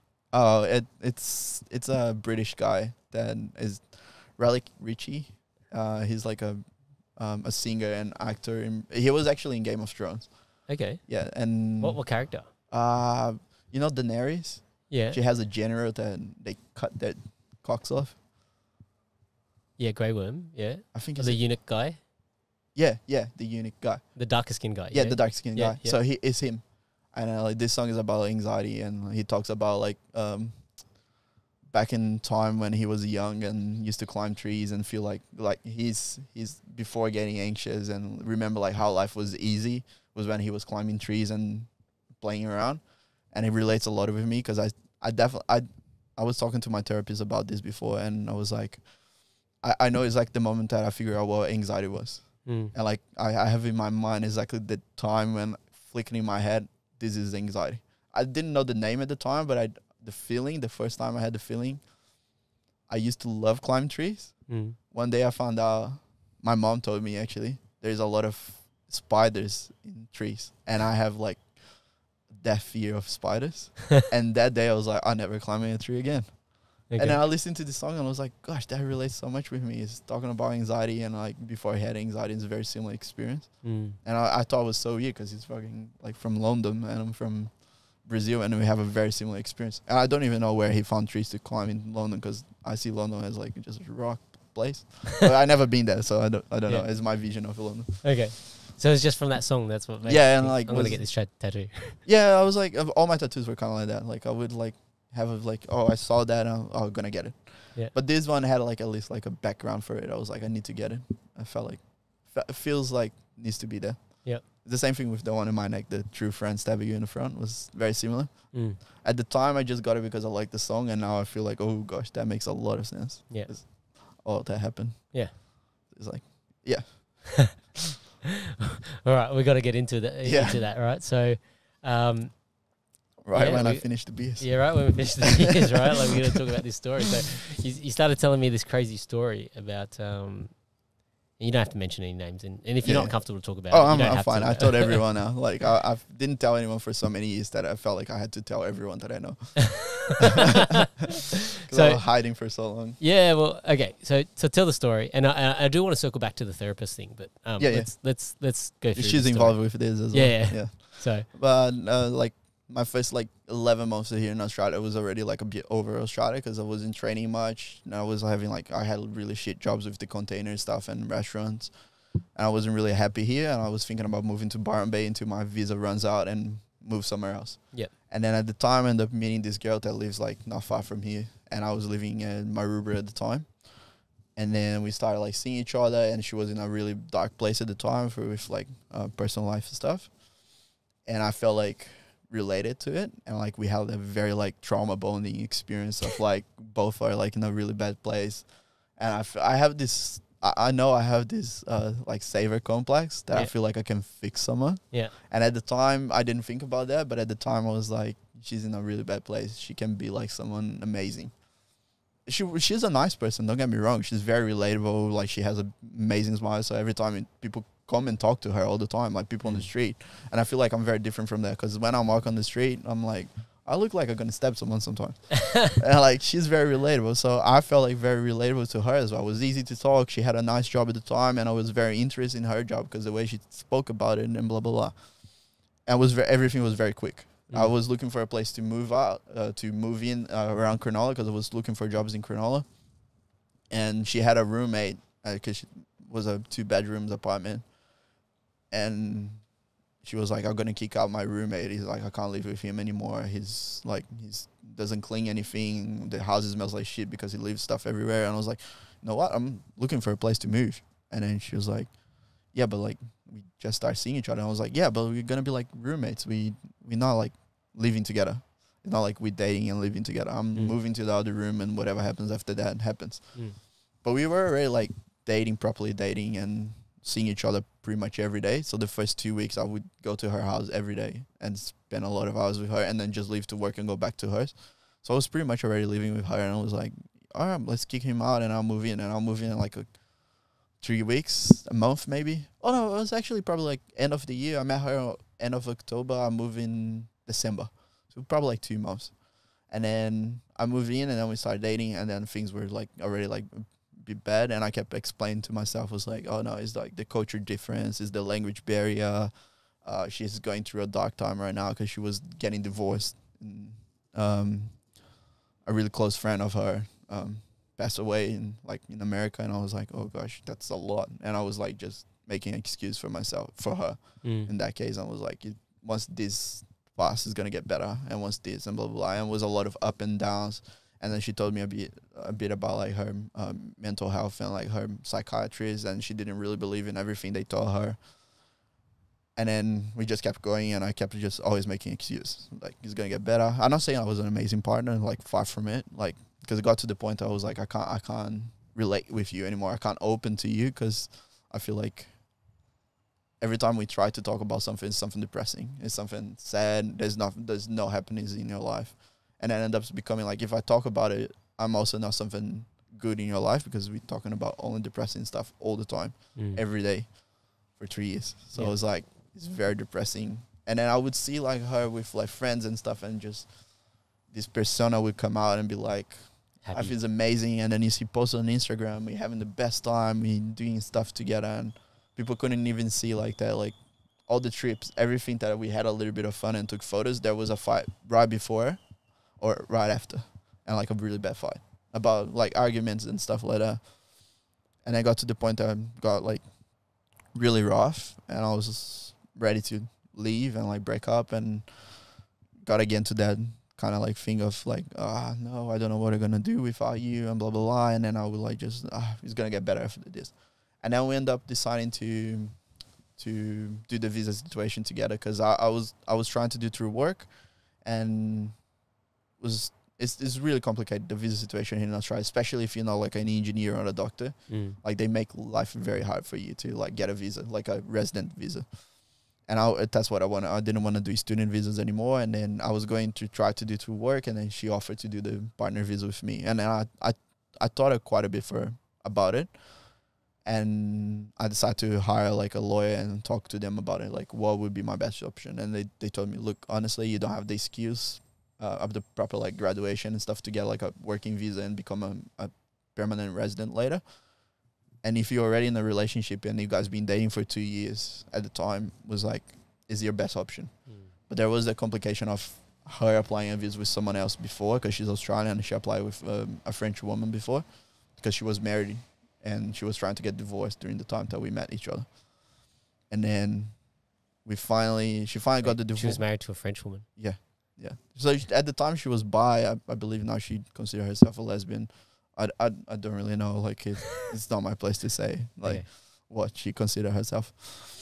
Um, but at the time she was like when I met her, she was still married and she was trying to get a divorce. But I, now I find out how hard it is to get a divorce in Australia because I'm trying to get one, and I can't even apply for it until next year, which is pretty shit. But anyways, um, so then we I spoke to the lawyers. Uh, she was already divorced, and then she was finally taking like a medication for like all her mental health problems and was things were getting really good actually for three months was amazing like from the end of like 2022 to beginning of 2023 was was pretty good we were having like a really good time Mm. and then we decided to get married i spoke to the lawyers because the lawyers were like oh it's better if you do like a proper like Get married and stuff. get married, like paperwork and everything, better than a de facto relationship. Because there is always like the the concern of like she got married with a French woman. Now she's getting married with a guy. If you don't get married, seems suspicious. Seems like you're selling visas. Yeah. That's what pretty much what my lawyers told me, and I was like, okay, um, let's do it. Things are good now. I finally decided to let my mom come to Brazil to Australia because I was always pushing. I was like, things gonna like I'm moving houses, I'm moving jobs. I want to be able to get. I was just making excuse because I knew like what my mom was going to end up seeing, like my relationship with this person.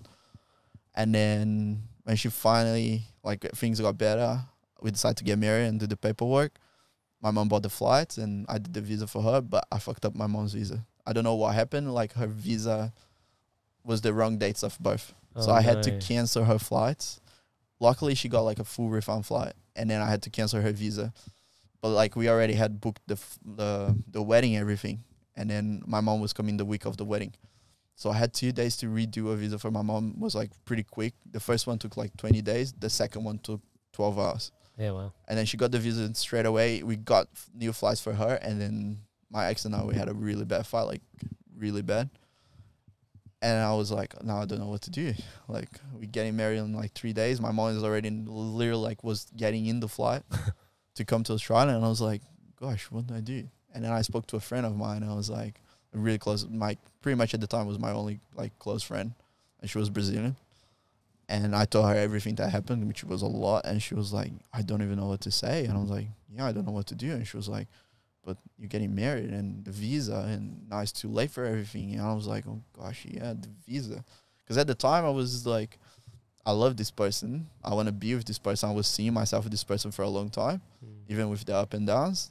And then after that, I was like, Gosh, I fucked up. I was literally like, I, I, I completely fucked up Yeah. because I'm gonna get married. My mom is in a flight. How am I gonna tell my mom like when she gets here that I'm not getting married?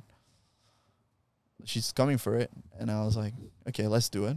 And then things got like even worse after that. And then the first two weeks when my mom was here was fine, and then the last week just things just went nuts and like very, very bad. And my mom saw everything. My mom actually, my mom helped me to pack every, everything in my house to leave the house, and I was going to stay with this friend for a few days until my mom leave, and then I decided what I was doing with my life. And then my mom left, went back to Brazil. We, I tried to make make pieces while my mom was here, so my mom wouldn't like be worried about me. But I know she, I knew she was going to be like super worried once she leave. And then a week after, like there was another like really bad fight, and I had we like she called an ambulance because she was feeling very suicidal. But because she said I was in the house, ended up coming cops to the house because like domestic violence they thought, and then like we explained the situation, what was going on, and then the cops were like, "Oh, okay, so it, it's really like she's very depressed and blah blah blah." We went to the hospital, and then after that, that was probably like June. After Mhm. that, things were like very weird between us. I was like, I was very avoidant. And I didn't want to spend too much time with her. I didn't want to talk about anything, so it was a very boring relationship at the time, and we just got married. and then I invited a friend of mine to move to the house because she was leaving the uh, Sydney and she needed a place to crash for a few weeks. I was like, yeah, just come stay with me. We have a two bedroom apartment, two uh, bathrooms. It's it's fine. Like things are fine between us. You, you'll be fine. And like two weeks were fine. Her brother actually came to see her and stay for a bit in Australia. I, we went to pick him up in the airport. He came to the house, and two days after that, uh, my ex and I we had like a really bad fight, and I left the house. I was like, I can't stay around you. Yeah. Once my friend leaves the uh, the house, I come back and then we discuss what we're doing with our lives. Cause Yeah. like It's too eh, difficult. yeah, and I was pretty sure like we we done, and she was also the same. She was like, I'm done. I don't want to do this. And then when I came back to the house, like once my friend left, I saw her a day before she left, and she actually said goodbye to me. She came to the restaurant and said goodbye on the day she was leaving. I was like, yeah, I'm gonna miss you a lot, cause was pretty much the only person that knew about the whole Situation. yeah the whole situation, everything that was going on. Not even my therapist, because I was lying to everyone. I was like, I don't want this to come out and like eventually be bad for my visa or something like that. Because at the time I was like, now I, I, I need to get this visa because I was like, I, I completely fucked up. Mm. And I still had like a, a friendship with her. We spoke about it, and she was trying to convince me to do the visa still with her. And I was like, "Yeah, but that's not safe for me because I'm gonna spend all my money because the visa would end up being like with lawyers and everything would end up being 16 to 21 grand, and could be even more than that." And then I told her like, "Look, I I don't trust you." uh, to do a visa because you can withdraw the application any minute. I lose all my money and I need, still need to leave the country in like 20 days. Mm. And then she was like trying to convince me that now it was going to happen. And then probably like two days after that we spoke about, I came back to the house. We were trying to be friends and pretend that we were still like nice to each other. And then she decided to tell me she fell in love with my friend that was a girl that was leaving the house. and then I was like, what the fuck? And she's like, yeah, sorry, we spent a lot of time together. And I was like, yeah, good luck with that. There's no way she's gonna end up like having anything with you because I was like, she's my best friend. She knows everything you did to me. She knows everything you did to my mom. Like, there's no way that something's gonna happen. And then a few days after, I saw like she was showing me something on her phone, and I just saw a message of my friend coming through. And I'm like, it's been four days since she replied me. Like, I thought she was like having a bad time in Byron Bay, trying to like get a new job and like settle down. And then I asked like my ex like what's what's going on? Like why my friend is texting you and she hasn't replied and she was like, Yeah, she is actually in love with me. it's like the feeling is mutual. And I'm like, What? she was leaving my house. I, I, I slept in my car for five days, all right? Like, because like once I left the house, I didn't want to stay with anyone. Yeah. Like a lot of people offer me places to stay. I was like, no, I want to be by myself. And I stayed in my car. And my car is like that little tiny thing over there. like and then she told me like she was in love with my friend and my friend was in love with her. And then she booked flights to go to Byron Bay to see her. And I was like, What is going on? what's going on? Like we've been together for three years, and then you offered to do the visa with me. I didn't want to do a freaking visa with anyone because I knew like I would be like stuck with someone, and they could use that against me. You were literally trying to offer me to do a visa until yesterday, and now you're telling me like you're going to Byron Bay after a week that we properly broke up. And she was like, "Yeah, but like you don't see my side." And I'm like, "Yeah, I I do see your side. Like you insane. Like that makes no sense in anyone's head.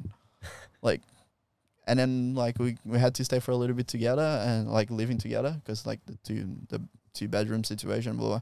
And at the whole time, I was still thinking about like, oh, I don't want to just leave the house and leave her paying the apartment by herself and leave her figure out her life by herself.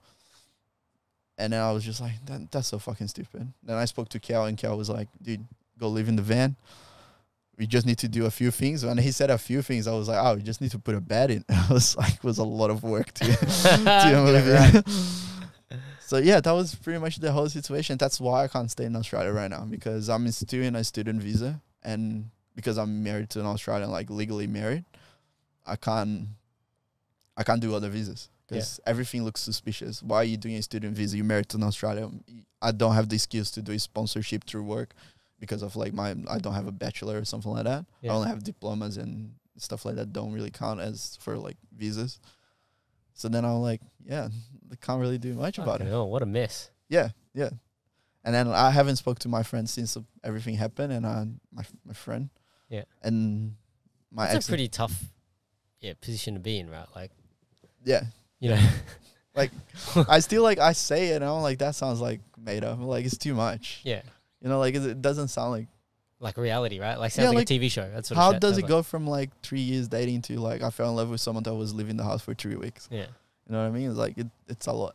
Yeah. And I was like, okay, it is what it is. I feel like I disassociate for a bit as well. Like I didn't know exactly how to handle it. So I was just like trying to do the best I could. Like just training a lot, work, but still like, and I finally felt like I was getting out of it. And then this week again, like I found out like the Brazilian girl. uh, Yeah, she was Your also friend. Brazilian. Yeah, Yeah, yeah. my friend. Yeah.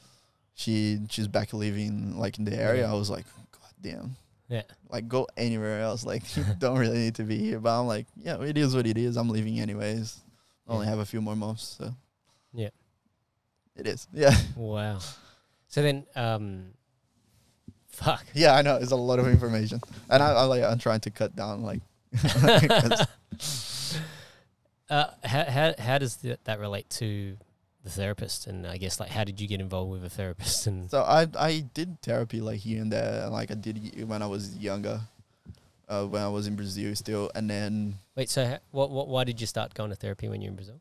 uh, at the time I was feeling like anxious about things, and I was trying to figure it out. I f- like I, I feel like in Brazil when I was doing therapy it was more as like a, a mentoring than like a proper like therapy session because the person I was doing was a psychologist, but I, I went to like a north, like where do I point, where do I go? I I need someone to like give me ideas and like. Like say things out loud and see if I was sounding crazy about like wanting to leave the country and try a new life.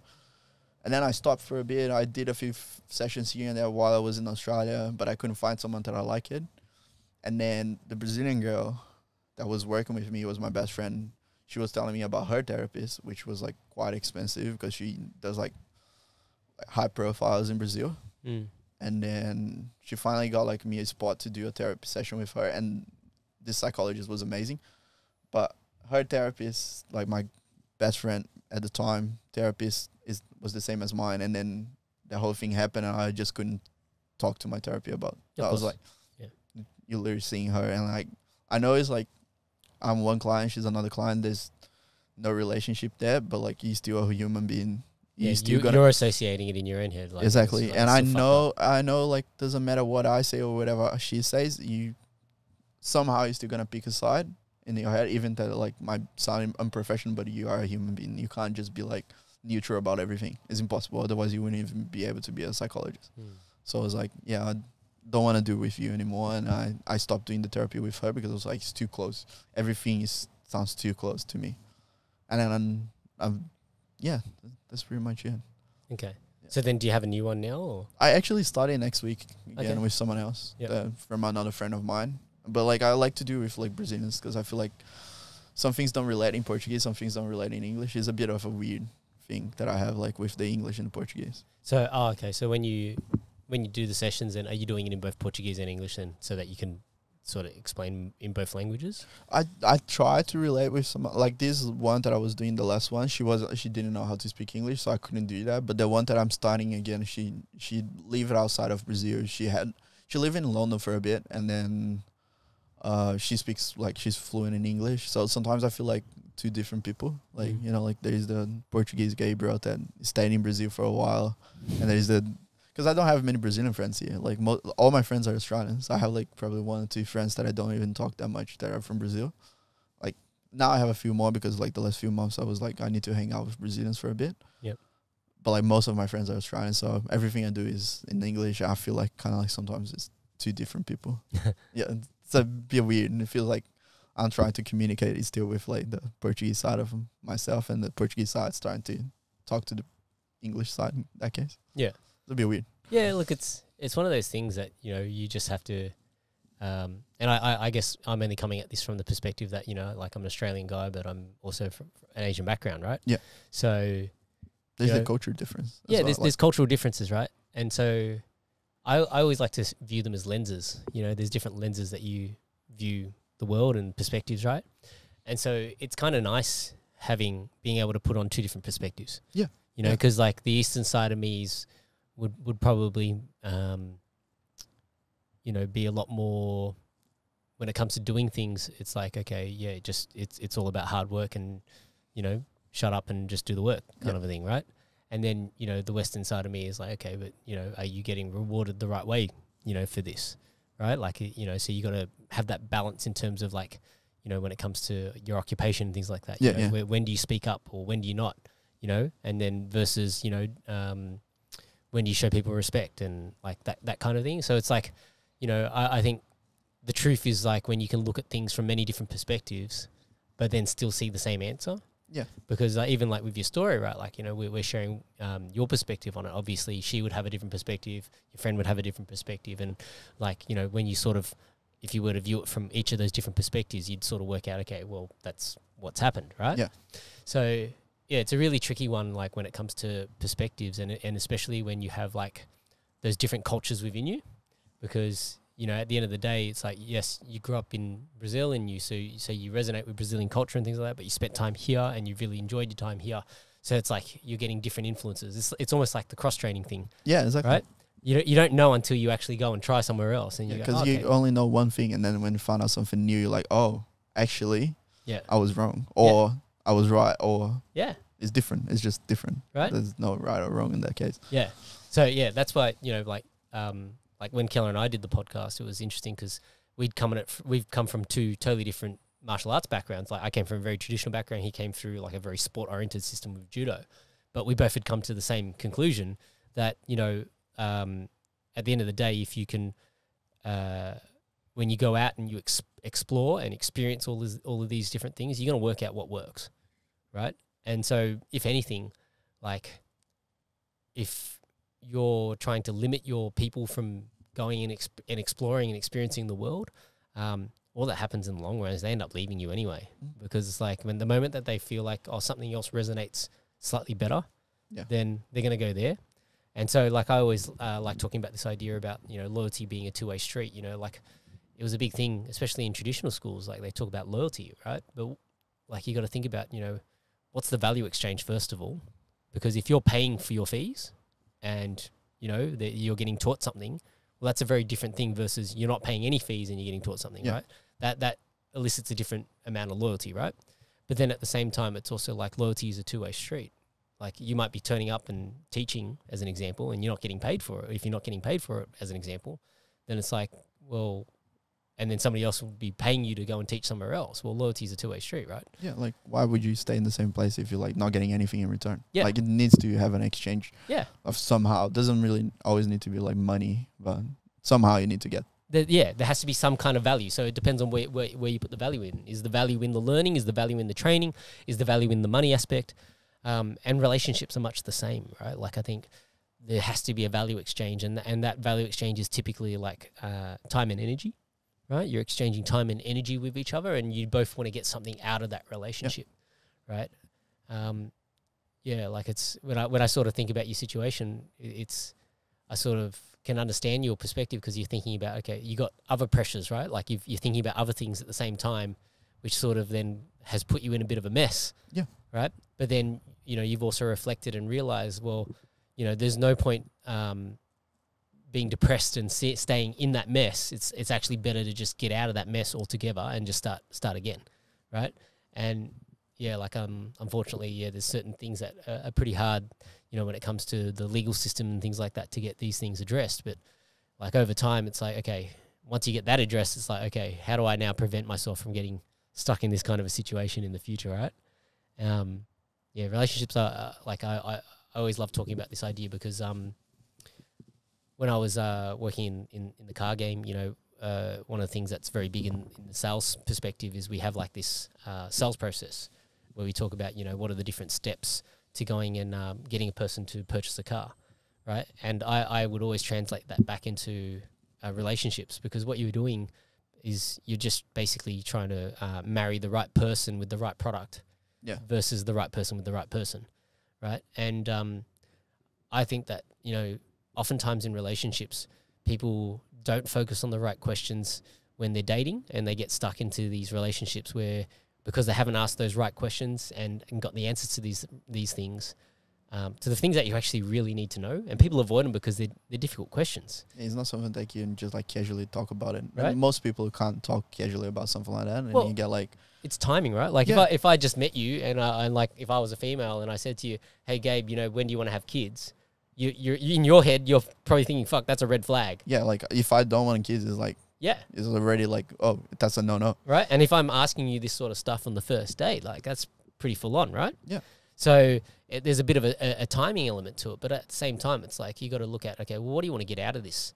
And so in any relationship, right? So if, um, not just thinking about romantic relationships, if you're thinking about like, um, you know, where you're training at the gym or which gyms you're training at, like, what are you trying to get out of training? Is, is probably an important question. What are you trying to get out of like learning these particular skills, or what are you trying to get out of even your workplace, right? So because if if all you're trying to get out of your workplace is money, then you're always going to gravitate to the workplace that is going to offer you the most amount of money. But if the the value equation is not just centric around money, it might be things like, okay, well, what is the lifestyle that you want to live? You know, what are the perks of working for this company and, and all of these other things? Well, that changes the value equation. Yeah, because Right? now it's not just about the money. It's not just about money. The, the Yeah. life in experience in general. Like you need to get more than just that. Yeah. which is pretty much with relationships as well. If you're Same just thing. trying to get one thing for a relationship, I just want to have kids. Yeah. Then are you willing to do anything to just have kids? Are you willing to like have a really bad partner, someone that you don't want to be with, or someone that you don't enjoy to be with? You know what I mean? Like, need to. That's one of definitely one of the things that I learned from this experience in general was. I felt like for three years I didn't have much to look forward in Australia, and now I feel like I have so much to look forward in it. Even that I only have like another three months to stay, I'm like I can see myself coming back to Australia and being like, I'm coming back because of this. I would probably say four months, six months ago, I I didn't have anything. If someone asked, would you, if you have to leave, would you come back? I would probably say no, never. Yeah. And now I'm like, now that I'm out of this situation, out of like that perspective, I can see there is a lot here for Yeah. me. Like it's not just like it's not just the money because honestly I don't really care that much about the money right now. I I'm trying to get a little bit more because I don't know exactly what I'm doing with my life in the next six months. I'm going to Thailand. I might stay there. I might go somewhere else. But if I would come back in Australia, I wouldn't do for the money. I wouldn't do for like to get a better life. I would come here because I love the place. I have people that I love. There's there is stuff to do. There Mm. is things more than just money and security because it was one of the big reasons why I left Brazil. Mm. It's too dangerous, and you also can't make any money because the economy over there is pretty bad. Mm. So it's things like that. But I I do understand what you're trying to say with like seeing life from other perspective and trying to get more than just one thing or knowing at least what you want because Yeah, that's a, well. It's the hardest thing is that how do you, um, I guess the easiest way I can put this is that the more specific you are about what you want out of life, then the easier it is to make actions that get you the specific outcome. because you, you have a goal and then you have little Yeah. steps to towards the goal. Yeah, because you think about it, like you know, even like say like the hobbyist training jujitsu, right? Like, I think too often uh, a, a hobbyist's uh, mindset to jujitsu is like, I just want to not suck. Yeah, yeah. Right? Like, I just don't want to tap to this guy anymore. yeah, right. Like, uh, but if you have this mindset that I just don't want to suck, then you're not actually like you don't you're not having any specific goals to actually improve, Yeah. right? So if you actually have like you know, okay, I'm getting stuck in bottom side control. Then it's like okay, at least now you know. Okay, let's let's look at it technically and go. Okay, you're stuck in bottom side control. What are your options? What escapes do you know? Yeah. How many escapes do you know? Right? Or what, what's what's your go to? Right? Like you you need to be specific about the scenario before you can actually develop a, a solution to it. Yeah. Right. So so same thing in life is like you know if you don't have a specific outcome that you're that you're looking for and you can't be specific about like so you know people would say well I want money. Okay, how do you want to earn that money? Or how much money? Yeah. you know, you just want to be rich. What is What is rich to you, right? like, Um, and you just made me think of this conversation I had with um, one of uh, my wife's cousins' sons. Yeah, one of my wife's cousin's sons, because he was like, um, he was finishing high school, and and so we were over in uh, Malaysia visiting, and so then we're having this conversation, and I and he said to like I, um, he didn't really know what he wanted to do, and I said, okay, so what's important to you? And he goes, well, I want to make money, right? And I so I I put this on him. I said, okay, so how do you want to make your money? Like, because do you want to like I know guys that like clean offices but have these multi-million dollar cleaning businesses. Is that how you want to make your money? He goes, "Oh, I don't want to clean." All right, so let's start to get specific because like you, you're saying that you you wouldn't be wanting to clean things or like say wash toilets as an example. Like people would say, "Why the fuck would you want to wash toilets?" But if you had a multi-million dollar cleaning business, and you want to make money, why not? why wouldn't you want to wash toilets? Yeah. Right. You, you, people say they don't want to be a, a garbage man, but if you you can make you know eighty to one hundred twenty grand a year being a garbage man, why the fuck wouldn't you want to be a garbage man if that's all you cared about, right? Yeah. So so th- this is why it's like you know uh, I always challenge people to be really specific about like what is it what is their goal the goal here and, and what is the outcome that you're actually trying to get because until you define that for yourself how do you then work out what your steps are to get back there right so like for you you know knowing that you want to come back it's like okay well first of all i know that my current limitations are i've only got this period of time left on my current visa and so i need to um, make plans for that and then look at okay what are my options in the future that to then resolve that right Yeah. But I, I also feel like sometimes people get too anal about it. Like they put a goal Mm. and they like are gonna do that, and then they get too fussy or they get too cocky to be like, actually my goal changed. Mm. Like I feel like people have fear of the change, and sometimes they feel like they fail if they change their goal or if they have a different mindset from now on. And you see that all the time with people. And right now, what I'm trying to do with myself is because I had like a huge goal here in Australia. My goal was to base myself in Australia. That was my my primary goal when I came to Australia. It wasn't like live in Australia and make a lot of money. My goal in Australia was to base myself as a permanent resident, Mm. and then after that, I would have more options with other stuff. I always I also have the goal to have my own gym, but I put this goal as a little bit of a hold because I know I want to get better at jiu-jitsu first. Mm. And then at the time, like I try to set my like my little goals for jiu-jitsu every time I'm training, and I set my goals for like every two months when I'm training. So every two months, I'm kind of like currently working on something. And I get it. Sometimes it's hard. Like life happens, you get like a bad week or like work. You can't really choose that many options, especially when you're in a situation like in a immigrant situation. It's really hard to get any kind of jobs because there is working limitations. There is like skill sets. English is not like exactly the same thing. Like I'm to get a job for me in Brazil so, and like in a good job, like something in a higher position is so much easier than in Australia. Not just because of the language barrier, but like because of the connections I have over there or everything. So uh, what I'm thinking for myself and when I'm setting my goals, especially uh, at the end of last year with the whole thing happening, I was still in the middle of the storm. I was still living in the same house with my ex partner. I was trying to just see clear at least a few things that I want to. I know I have to leave Australia. There's nothing I can do about it. I had a look. I spoke to lawyers. They told me honestly, right now you're in a really bad situation. You can't do anything about it. I accepted. I'm still angry about it. I'm still upset, but like it's not something that making me stop and just make me depressed. And I told myself, you know what, you haven't done in ten years because I've been working from ten years, which is crazy because I'm only 25. And I was like, I actually wor- been working for 11 years now, and I was like, you never had a holiday. And I was like, maybe that's gonna be my next goal. Have a holiday and know how to enjoy it. And then actually Riz was here in the gym today and I was like, gosh, it's good to see you here because I was like during New Year's Eve I was like I, he posted something about like traveling to do jiu-jitsu around the world and I was like, why I'm going to Brazil? I don't want to be there because I bought flights to Brazil and I decided, you know what, I'm canceling these flights. I canceled the flights, I got fully refunded. I'm going to Thailand. I'm gonna have at least three weeks of holidays. Yep. And during those holidays, I'm not thinking about how I'm gonna make money. I'm not thinking about finding a job. I'm thinking about going to Thailand, training a lot of jiu-jitsu. and in May, when the boys are going to do the trials, I'm gonna You're gonna be, in there. And I'm gonna hang out with them. So I'm gonna have a whole month after 11 years, because I never had like over like a week of like holidays Yep. in 11 years. So I was like, you know what? I'm gonna have a whole month of holidays. I'm still not gonna try to spend like a lot of money because I'm not No. like that. I, I want to train. That's what I want to do. That's my holidays. Mm. It's like getting better jiu-jitsu is my holidays. Yeah. So that's what I'm gonna do. And then once I finally get out of this whole situation when my mind's clear, when I'm in Asia eating a lot of noodles, and I see the boys smash and get like at least two gold medals from for the gym, then I'm gonna be like, you know what? Now I'm gonna decide exactly what I'm doing for the next two years. I have a goal that is like train jiu-jitsu full time for the next two years, and work around that. I do want to have a f- I have a few comps that I have in mind that I already put as my goals to 2025, 2024. Mm.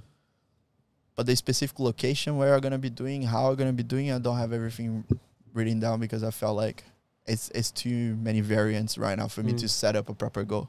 Yep. But I do have things looking forward, and I feel like sometimes that's what people need, not like a end goal and like step by step, but at least have something to, you know, like not just like I'm just doing stuff and figure out because that's how life goes by really quick. Mm. You don't realize like that last week was actually not last week. Last week was a month and a half ago Yeah. and you've been talking about doing weights, you've been talking about making more money, you've been talking about quitting your shit job because you don't like it, Mm. but you don't have a goal for when or like how.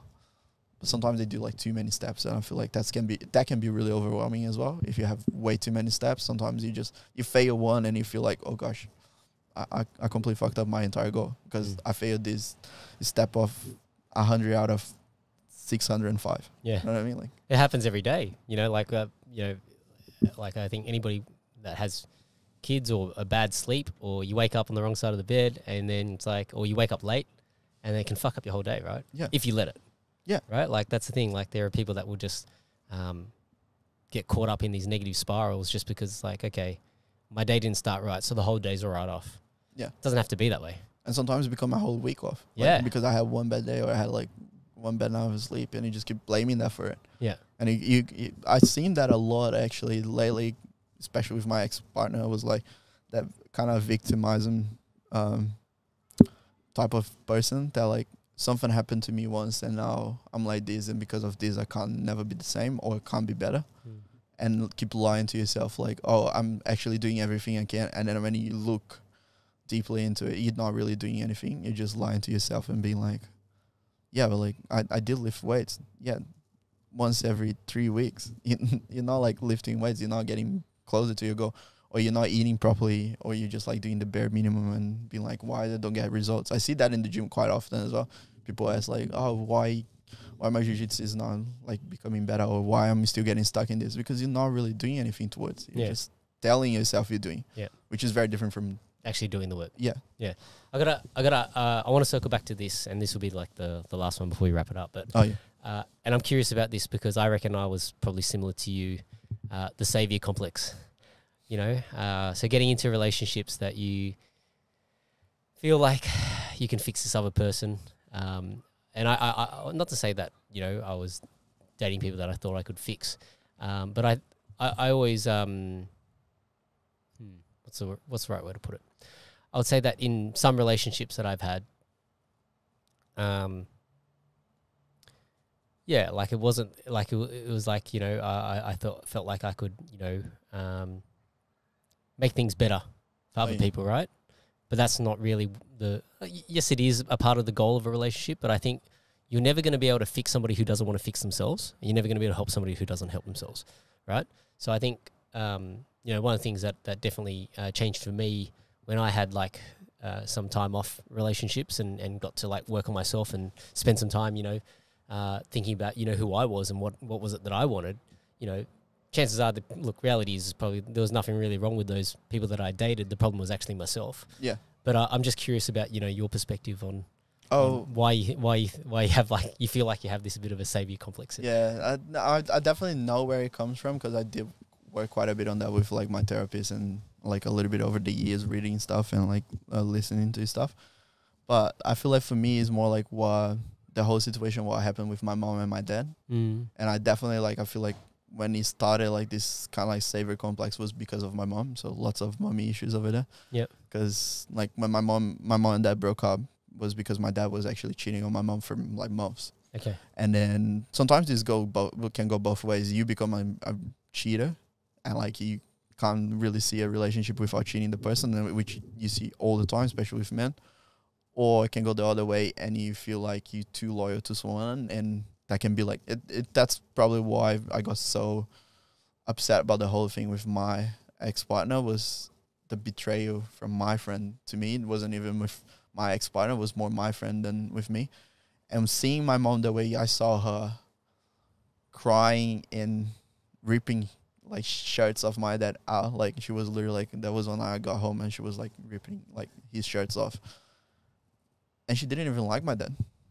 So if you can get that upset about someone that you don't even like, and now I understand why my mom was so upset. It wasn't because she liked my dad; it was because she gave up like a good part of her life to have me and my brother and stay with my dad. Like seven years is a long time to be with someone that you don't like it. And my mom told me that multiple multiple times after I got older that she never really loved my dad. She never said once to my dad that she she loved him.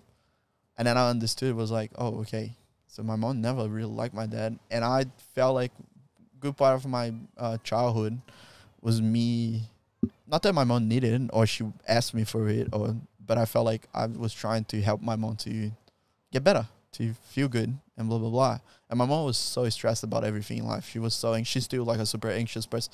And it's nowadays after like so many years, like almost twenty years, that I realized that my mom and I were very similar. We have very anxious like personalities. We're very anxious people in general about work, life in general. And I feel like the savior complex came came from that, from seeing my mom so broken that I felt like, oh, I need to help this person. And then when I see someone like that, it kind of gets back to your childhood and pretty much what. And it was right in that development phase of like six to eight years old where you're trying to kind of decide who you're gonna be, not really deciding, but like what, like psychology happened to you. Like, yeah. You you fucking hit a nerve for me, Gabe. um, sorry. No, because um, hearing you talk about that, that that that was um, yeah, my mum was doing the same thing when I was in like year eleven or year twelve. You know, bawling her eyes out because my dad did the wrong thing. and it's it's hard. It's hard. Do you see something like that, it can go like I said, it can go both ways. Or you relate more to your dad, which I don't think I do. Most aspects of life. Or you can go to your side of your mom and see that and be like, I need to be the person that saved that person. I mean, it's your mom. You don't want to see her Yeah. upset. you her upset. Yeah. that's right. Yeah, well, it, bro- it broke my mum mentally. Um, you know, I've talked about and I've talked about this on the podcast before, but that was that was probably the catalyst for a lot of my mum's mental health issues, and and then you know that ended up, you know, like, and I, I don't and I don't say this in any way that like, you know, of course you don't wish it on on anyone, right? That's the hand that I was dealt, and I played that hand to you know the best that I could, and so I just invested in you know myself and working and working and working and working. Um, and I, I won't go through it because it's obviously been something I've covered before. But like, I guess um, I, I'm I'm curious, and this is just because of my own curiosity about like what happened between me and my dad as a result of it. Like, I obviously held a lot of resentment towards my Oof. dad. So much. Yeah. So much. So it's the same for you. Yeah, I still have a lot of resentment to my dad. I told him a few times that, but it's like the relationship I have with my mom. and wait, wait, so when you choked him out, or when you mounted him and submitted Yeah. him, there was more to that. There was Yeah. some there was some negativity there. oh, a lot, a lot. And in therapy, it's the same. Like every time I talk about my dad in therapy, my therapist goes like, and like for multiple therapies, therapists that I did, they were like, every time you talk about your dad, you go like, fuck, here we go again. Yeah. And then the thing with my dad was like, I feel like he was always very, and still nowadays, I still feel like sometimes he's very delusional about what he wants in life. He's a very lost person of like what I want to do with my life, what I Mm. want. He's a lot, a lot of like fake goals over there. Like, Mm. oh, I have a goal, but it's not really a goal. It's just like something to keep my mind out of like stress, which I don't really understand because I can't have like a that much of a deep conversation with my dad. It just doesn't happen. I tried before and just we just don't go there. Which with my mom is completely different. My mom and I since I don't know since I remember we always spoke about everything, life, sex, uh, drugs, everything. There's not one thing that we don't talk about. There is a few things that happened with my ex that I didn't talk to my mom because I felt like was a little bit too much for her. Mhm. I felt like or I, she understands what happened and uh, have an idea. That's what she needs to know right now. I don't feel comfortable to tell her what Everything. exactly was happening yeah. because it's, it's a lot of like bad stuff. But I was like, when I talk about my dad, then it's the the opposite. It's like I feel like because of what he did to my mom, there's a lot of resentment there, and I also see my dad dating multiple people during his life, and my mom literally like not dating anyone. She had like two boyfriends since like they broke up, and my dad already had like probably five or seven that he lived with Mm. and I'm going like there is definitely a problem in one of them, and I don't believe is with my mom. Because like if you can't if you can't if you if you have that many commit commitment issues, there's something that you need to work on. Mm. I'm not saying like oh maybe I don't know maybe all my dad's partner were actually not good and you just move on, or he doesn't know how to commit to something, Yeah. and then once he lose, he feels guilty and depressed about it because that's pretty much what happened with my mom and him. Yeah, until nowadays he's like, oh yeah, and your mom's like the love of my life, and my mom's like, I never even said I love you. You know what I Mm. mean? It's like is that feeling of like you lost something that you had, and now you realize you lost something. Yeah. And I feel like with my dad, everything is kind of like that. Like he lose something, and he realize, oh gosh, I wish I had it. And there's a lot to do also with like when my grandpa, my granddad, my dad's dad passed away. I felt like it was the same, and I couldn't even talk about my granddad dying, like because he had cancer. So it was a process of dying. It wasn't just died. Mm. And I feel like with my dad it was like we can't talk about this because you don't know how to talk about deep He doesn't. He doesn't know how to connect to that emotion. no, emotionally. not at So all. what? He never grieved. You didn't see him cry about it, or I've seen that's the thing. I've seen my dad crying before many times, but it wasn't like for uh, like anger issues, not from being sad. And it, uh, crying for being ang- angry and crying from being sad is completely different. It's not the same uh, feeling, and you just don't know how to express yourself. And when my dad, my granddad died, I was already in Australia. Actually, when I came to Australia, he was already with cancer, and I was like so worried that he was going to die when I got here. That I told them, like, don't tell me if he dies because it's gonna crash me. Yeah. And then it took longer. Actually, it took a year and a half after I got here for him to actually pass away. And then I would talk to my dad why it was happening, and he just couldn't tell me. Like he would just be like, "No, yeah, uh, grand, like your granddad is fine," and I would look at photos and look like skin and bones. Mm. Like that guy is not is not right. Dude, Yeah. He's like more on the other side than he. Like, come on, Yeah. talk to me. And I I called him multiple times and was like, just talk to me. Well, like, what's going on? Well, how are you feeling? And he was like, no, no, I'm fine. Like, how can you be fine when you, your dad is like this close of like, and it's not like he dad, he didn't see my granddad every day. They worked together, so he would see my granddad every day for the past like forty years of his life. Mm. It's not like one of those persons like me that I left home and now I haven't seen my dad in five years. Mm. You know, it's like it's, you see the person every day, even if it wasn't your grand your dad. It's someone that you've been seeing for forty years. It's like There's connection there. there is more than like I'm fine with him dying yeah. to to that, and that's pretty much what like the resentment with my dad comes from. Is like the whole not knowing how to communicate and affect me in many ways Mm. because until I learn how to communicate, because I'm I'm I'm good at talking about what's going on and uh, like things in my life, but also at the same time putting myself out of it. So like I can talk about like my problems and be like I'm talking kind of like talking about someone else's problem and not really me Mm. and just disassociate from it. Yeah. Because it feels easy to talk about like your problems when you're not talking about yourself. Yeah. You know what I mean? Like Yeah. Well, I, I think you know the the benefit, the only or the positive, I guess, of that is that you learn what not to do. You know, Oh, as a- yeah. uh, how how to how to conduct yourself as a person, right? kind Like, of it kind of gives that that vibe of like that we were talking about before. You have a goal, but you, you just know what you don't want to do. yeah, At least you have like uh, an idea of things that you, you consider at least in your uh, perspective of life, what is wrong and what is right. yeah. Because like you know, if you think about it, right, like that that you know the mistakes that your dad made, that could be you making Yeah. the same mistakes, right? And and so, how fortunate you are to be in a position where you can actually view that objectively and go, well, I don't want to be like that. Right? Same thing, like you know, the mistakes my dad made, I I could make those same mistakes, but I choose not to make those mistakes. Yeah. Right. So that's the difference. And I think you know everybody has that conscious uh, capacity to make better choices, but you just have to decide that, you know, do you want to? Yeah, are you every day? Are you, going to be a little bit more to good or a little bit more to evil? Which Yeah. like you have to choose at some at some point you're gonna have to at least choose yeah, what are you doing. yeah, Even that is sometimes you don't realize you're choosing. You you you, you choose. yeah. Even not doing something is a choice. Yeah. right. Like I, I think you know that's one of the biggest um, uh, what is it? What's the right word? Misconceptions out there is when people like they go, "Oh, I'm thinking about it," right? But if you actually just changed your mindset and said, anytime that you had to say, "I'm thinking about something," just say it's a no. Then you can actually really work out whether you want to do something or you don't. So rather than saying, "I'm thinking about it," well, okay, if I'm thinking about it, I'll just say no. And it's like, oh fuck, I don't want to say no. Well, then it, just fucking do it. Just make it a yes. You, you have two choices. You don't need to do like a third choice of like maybe. yeah, I feel uh, I, I remember hearing that once and I was like that's so dumb. But then sometimes I go like actually it's not that dumb. that people say like there's there's no such a thing as a maybe yeah, because actually like there's no um maybe I ate yesterday. No, or you did or you did not. Yeah. Like Every, it's a choice. You either choose to do something or you choose not to do something. yeah, like Yeah. eventually you're gonna have to choose. Yep. Doesn't matter what you're doing. Like Yeah. you know what I mean. All right. Well, um, yeah, we uh, we've covered plenty of this. So, if people want to find you, uh, you're doing privates as well at the moment. Oh yeah, I'm you doing a few privates just to save a bit of extra money. Like 45 minute sessions, pretty cheap honestly. Like 50 bucks for 45 minutes. Okay. And if you want to like follow my Instagram, get me more followers, please help.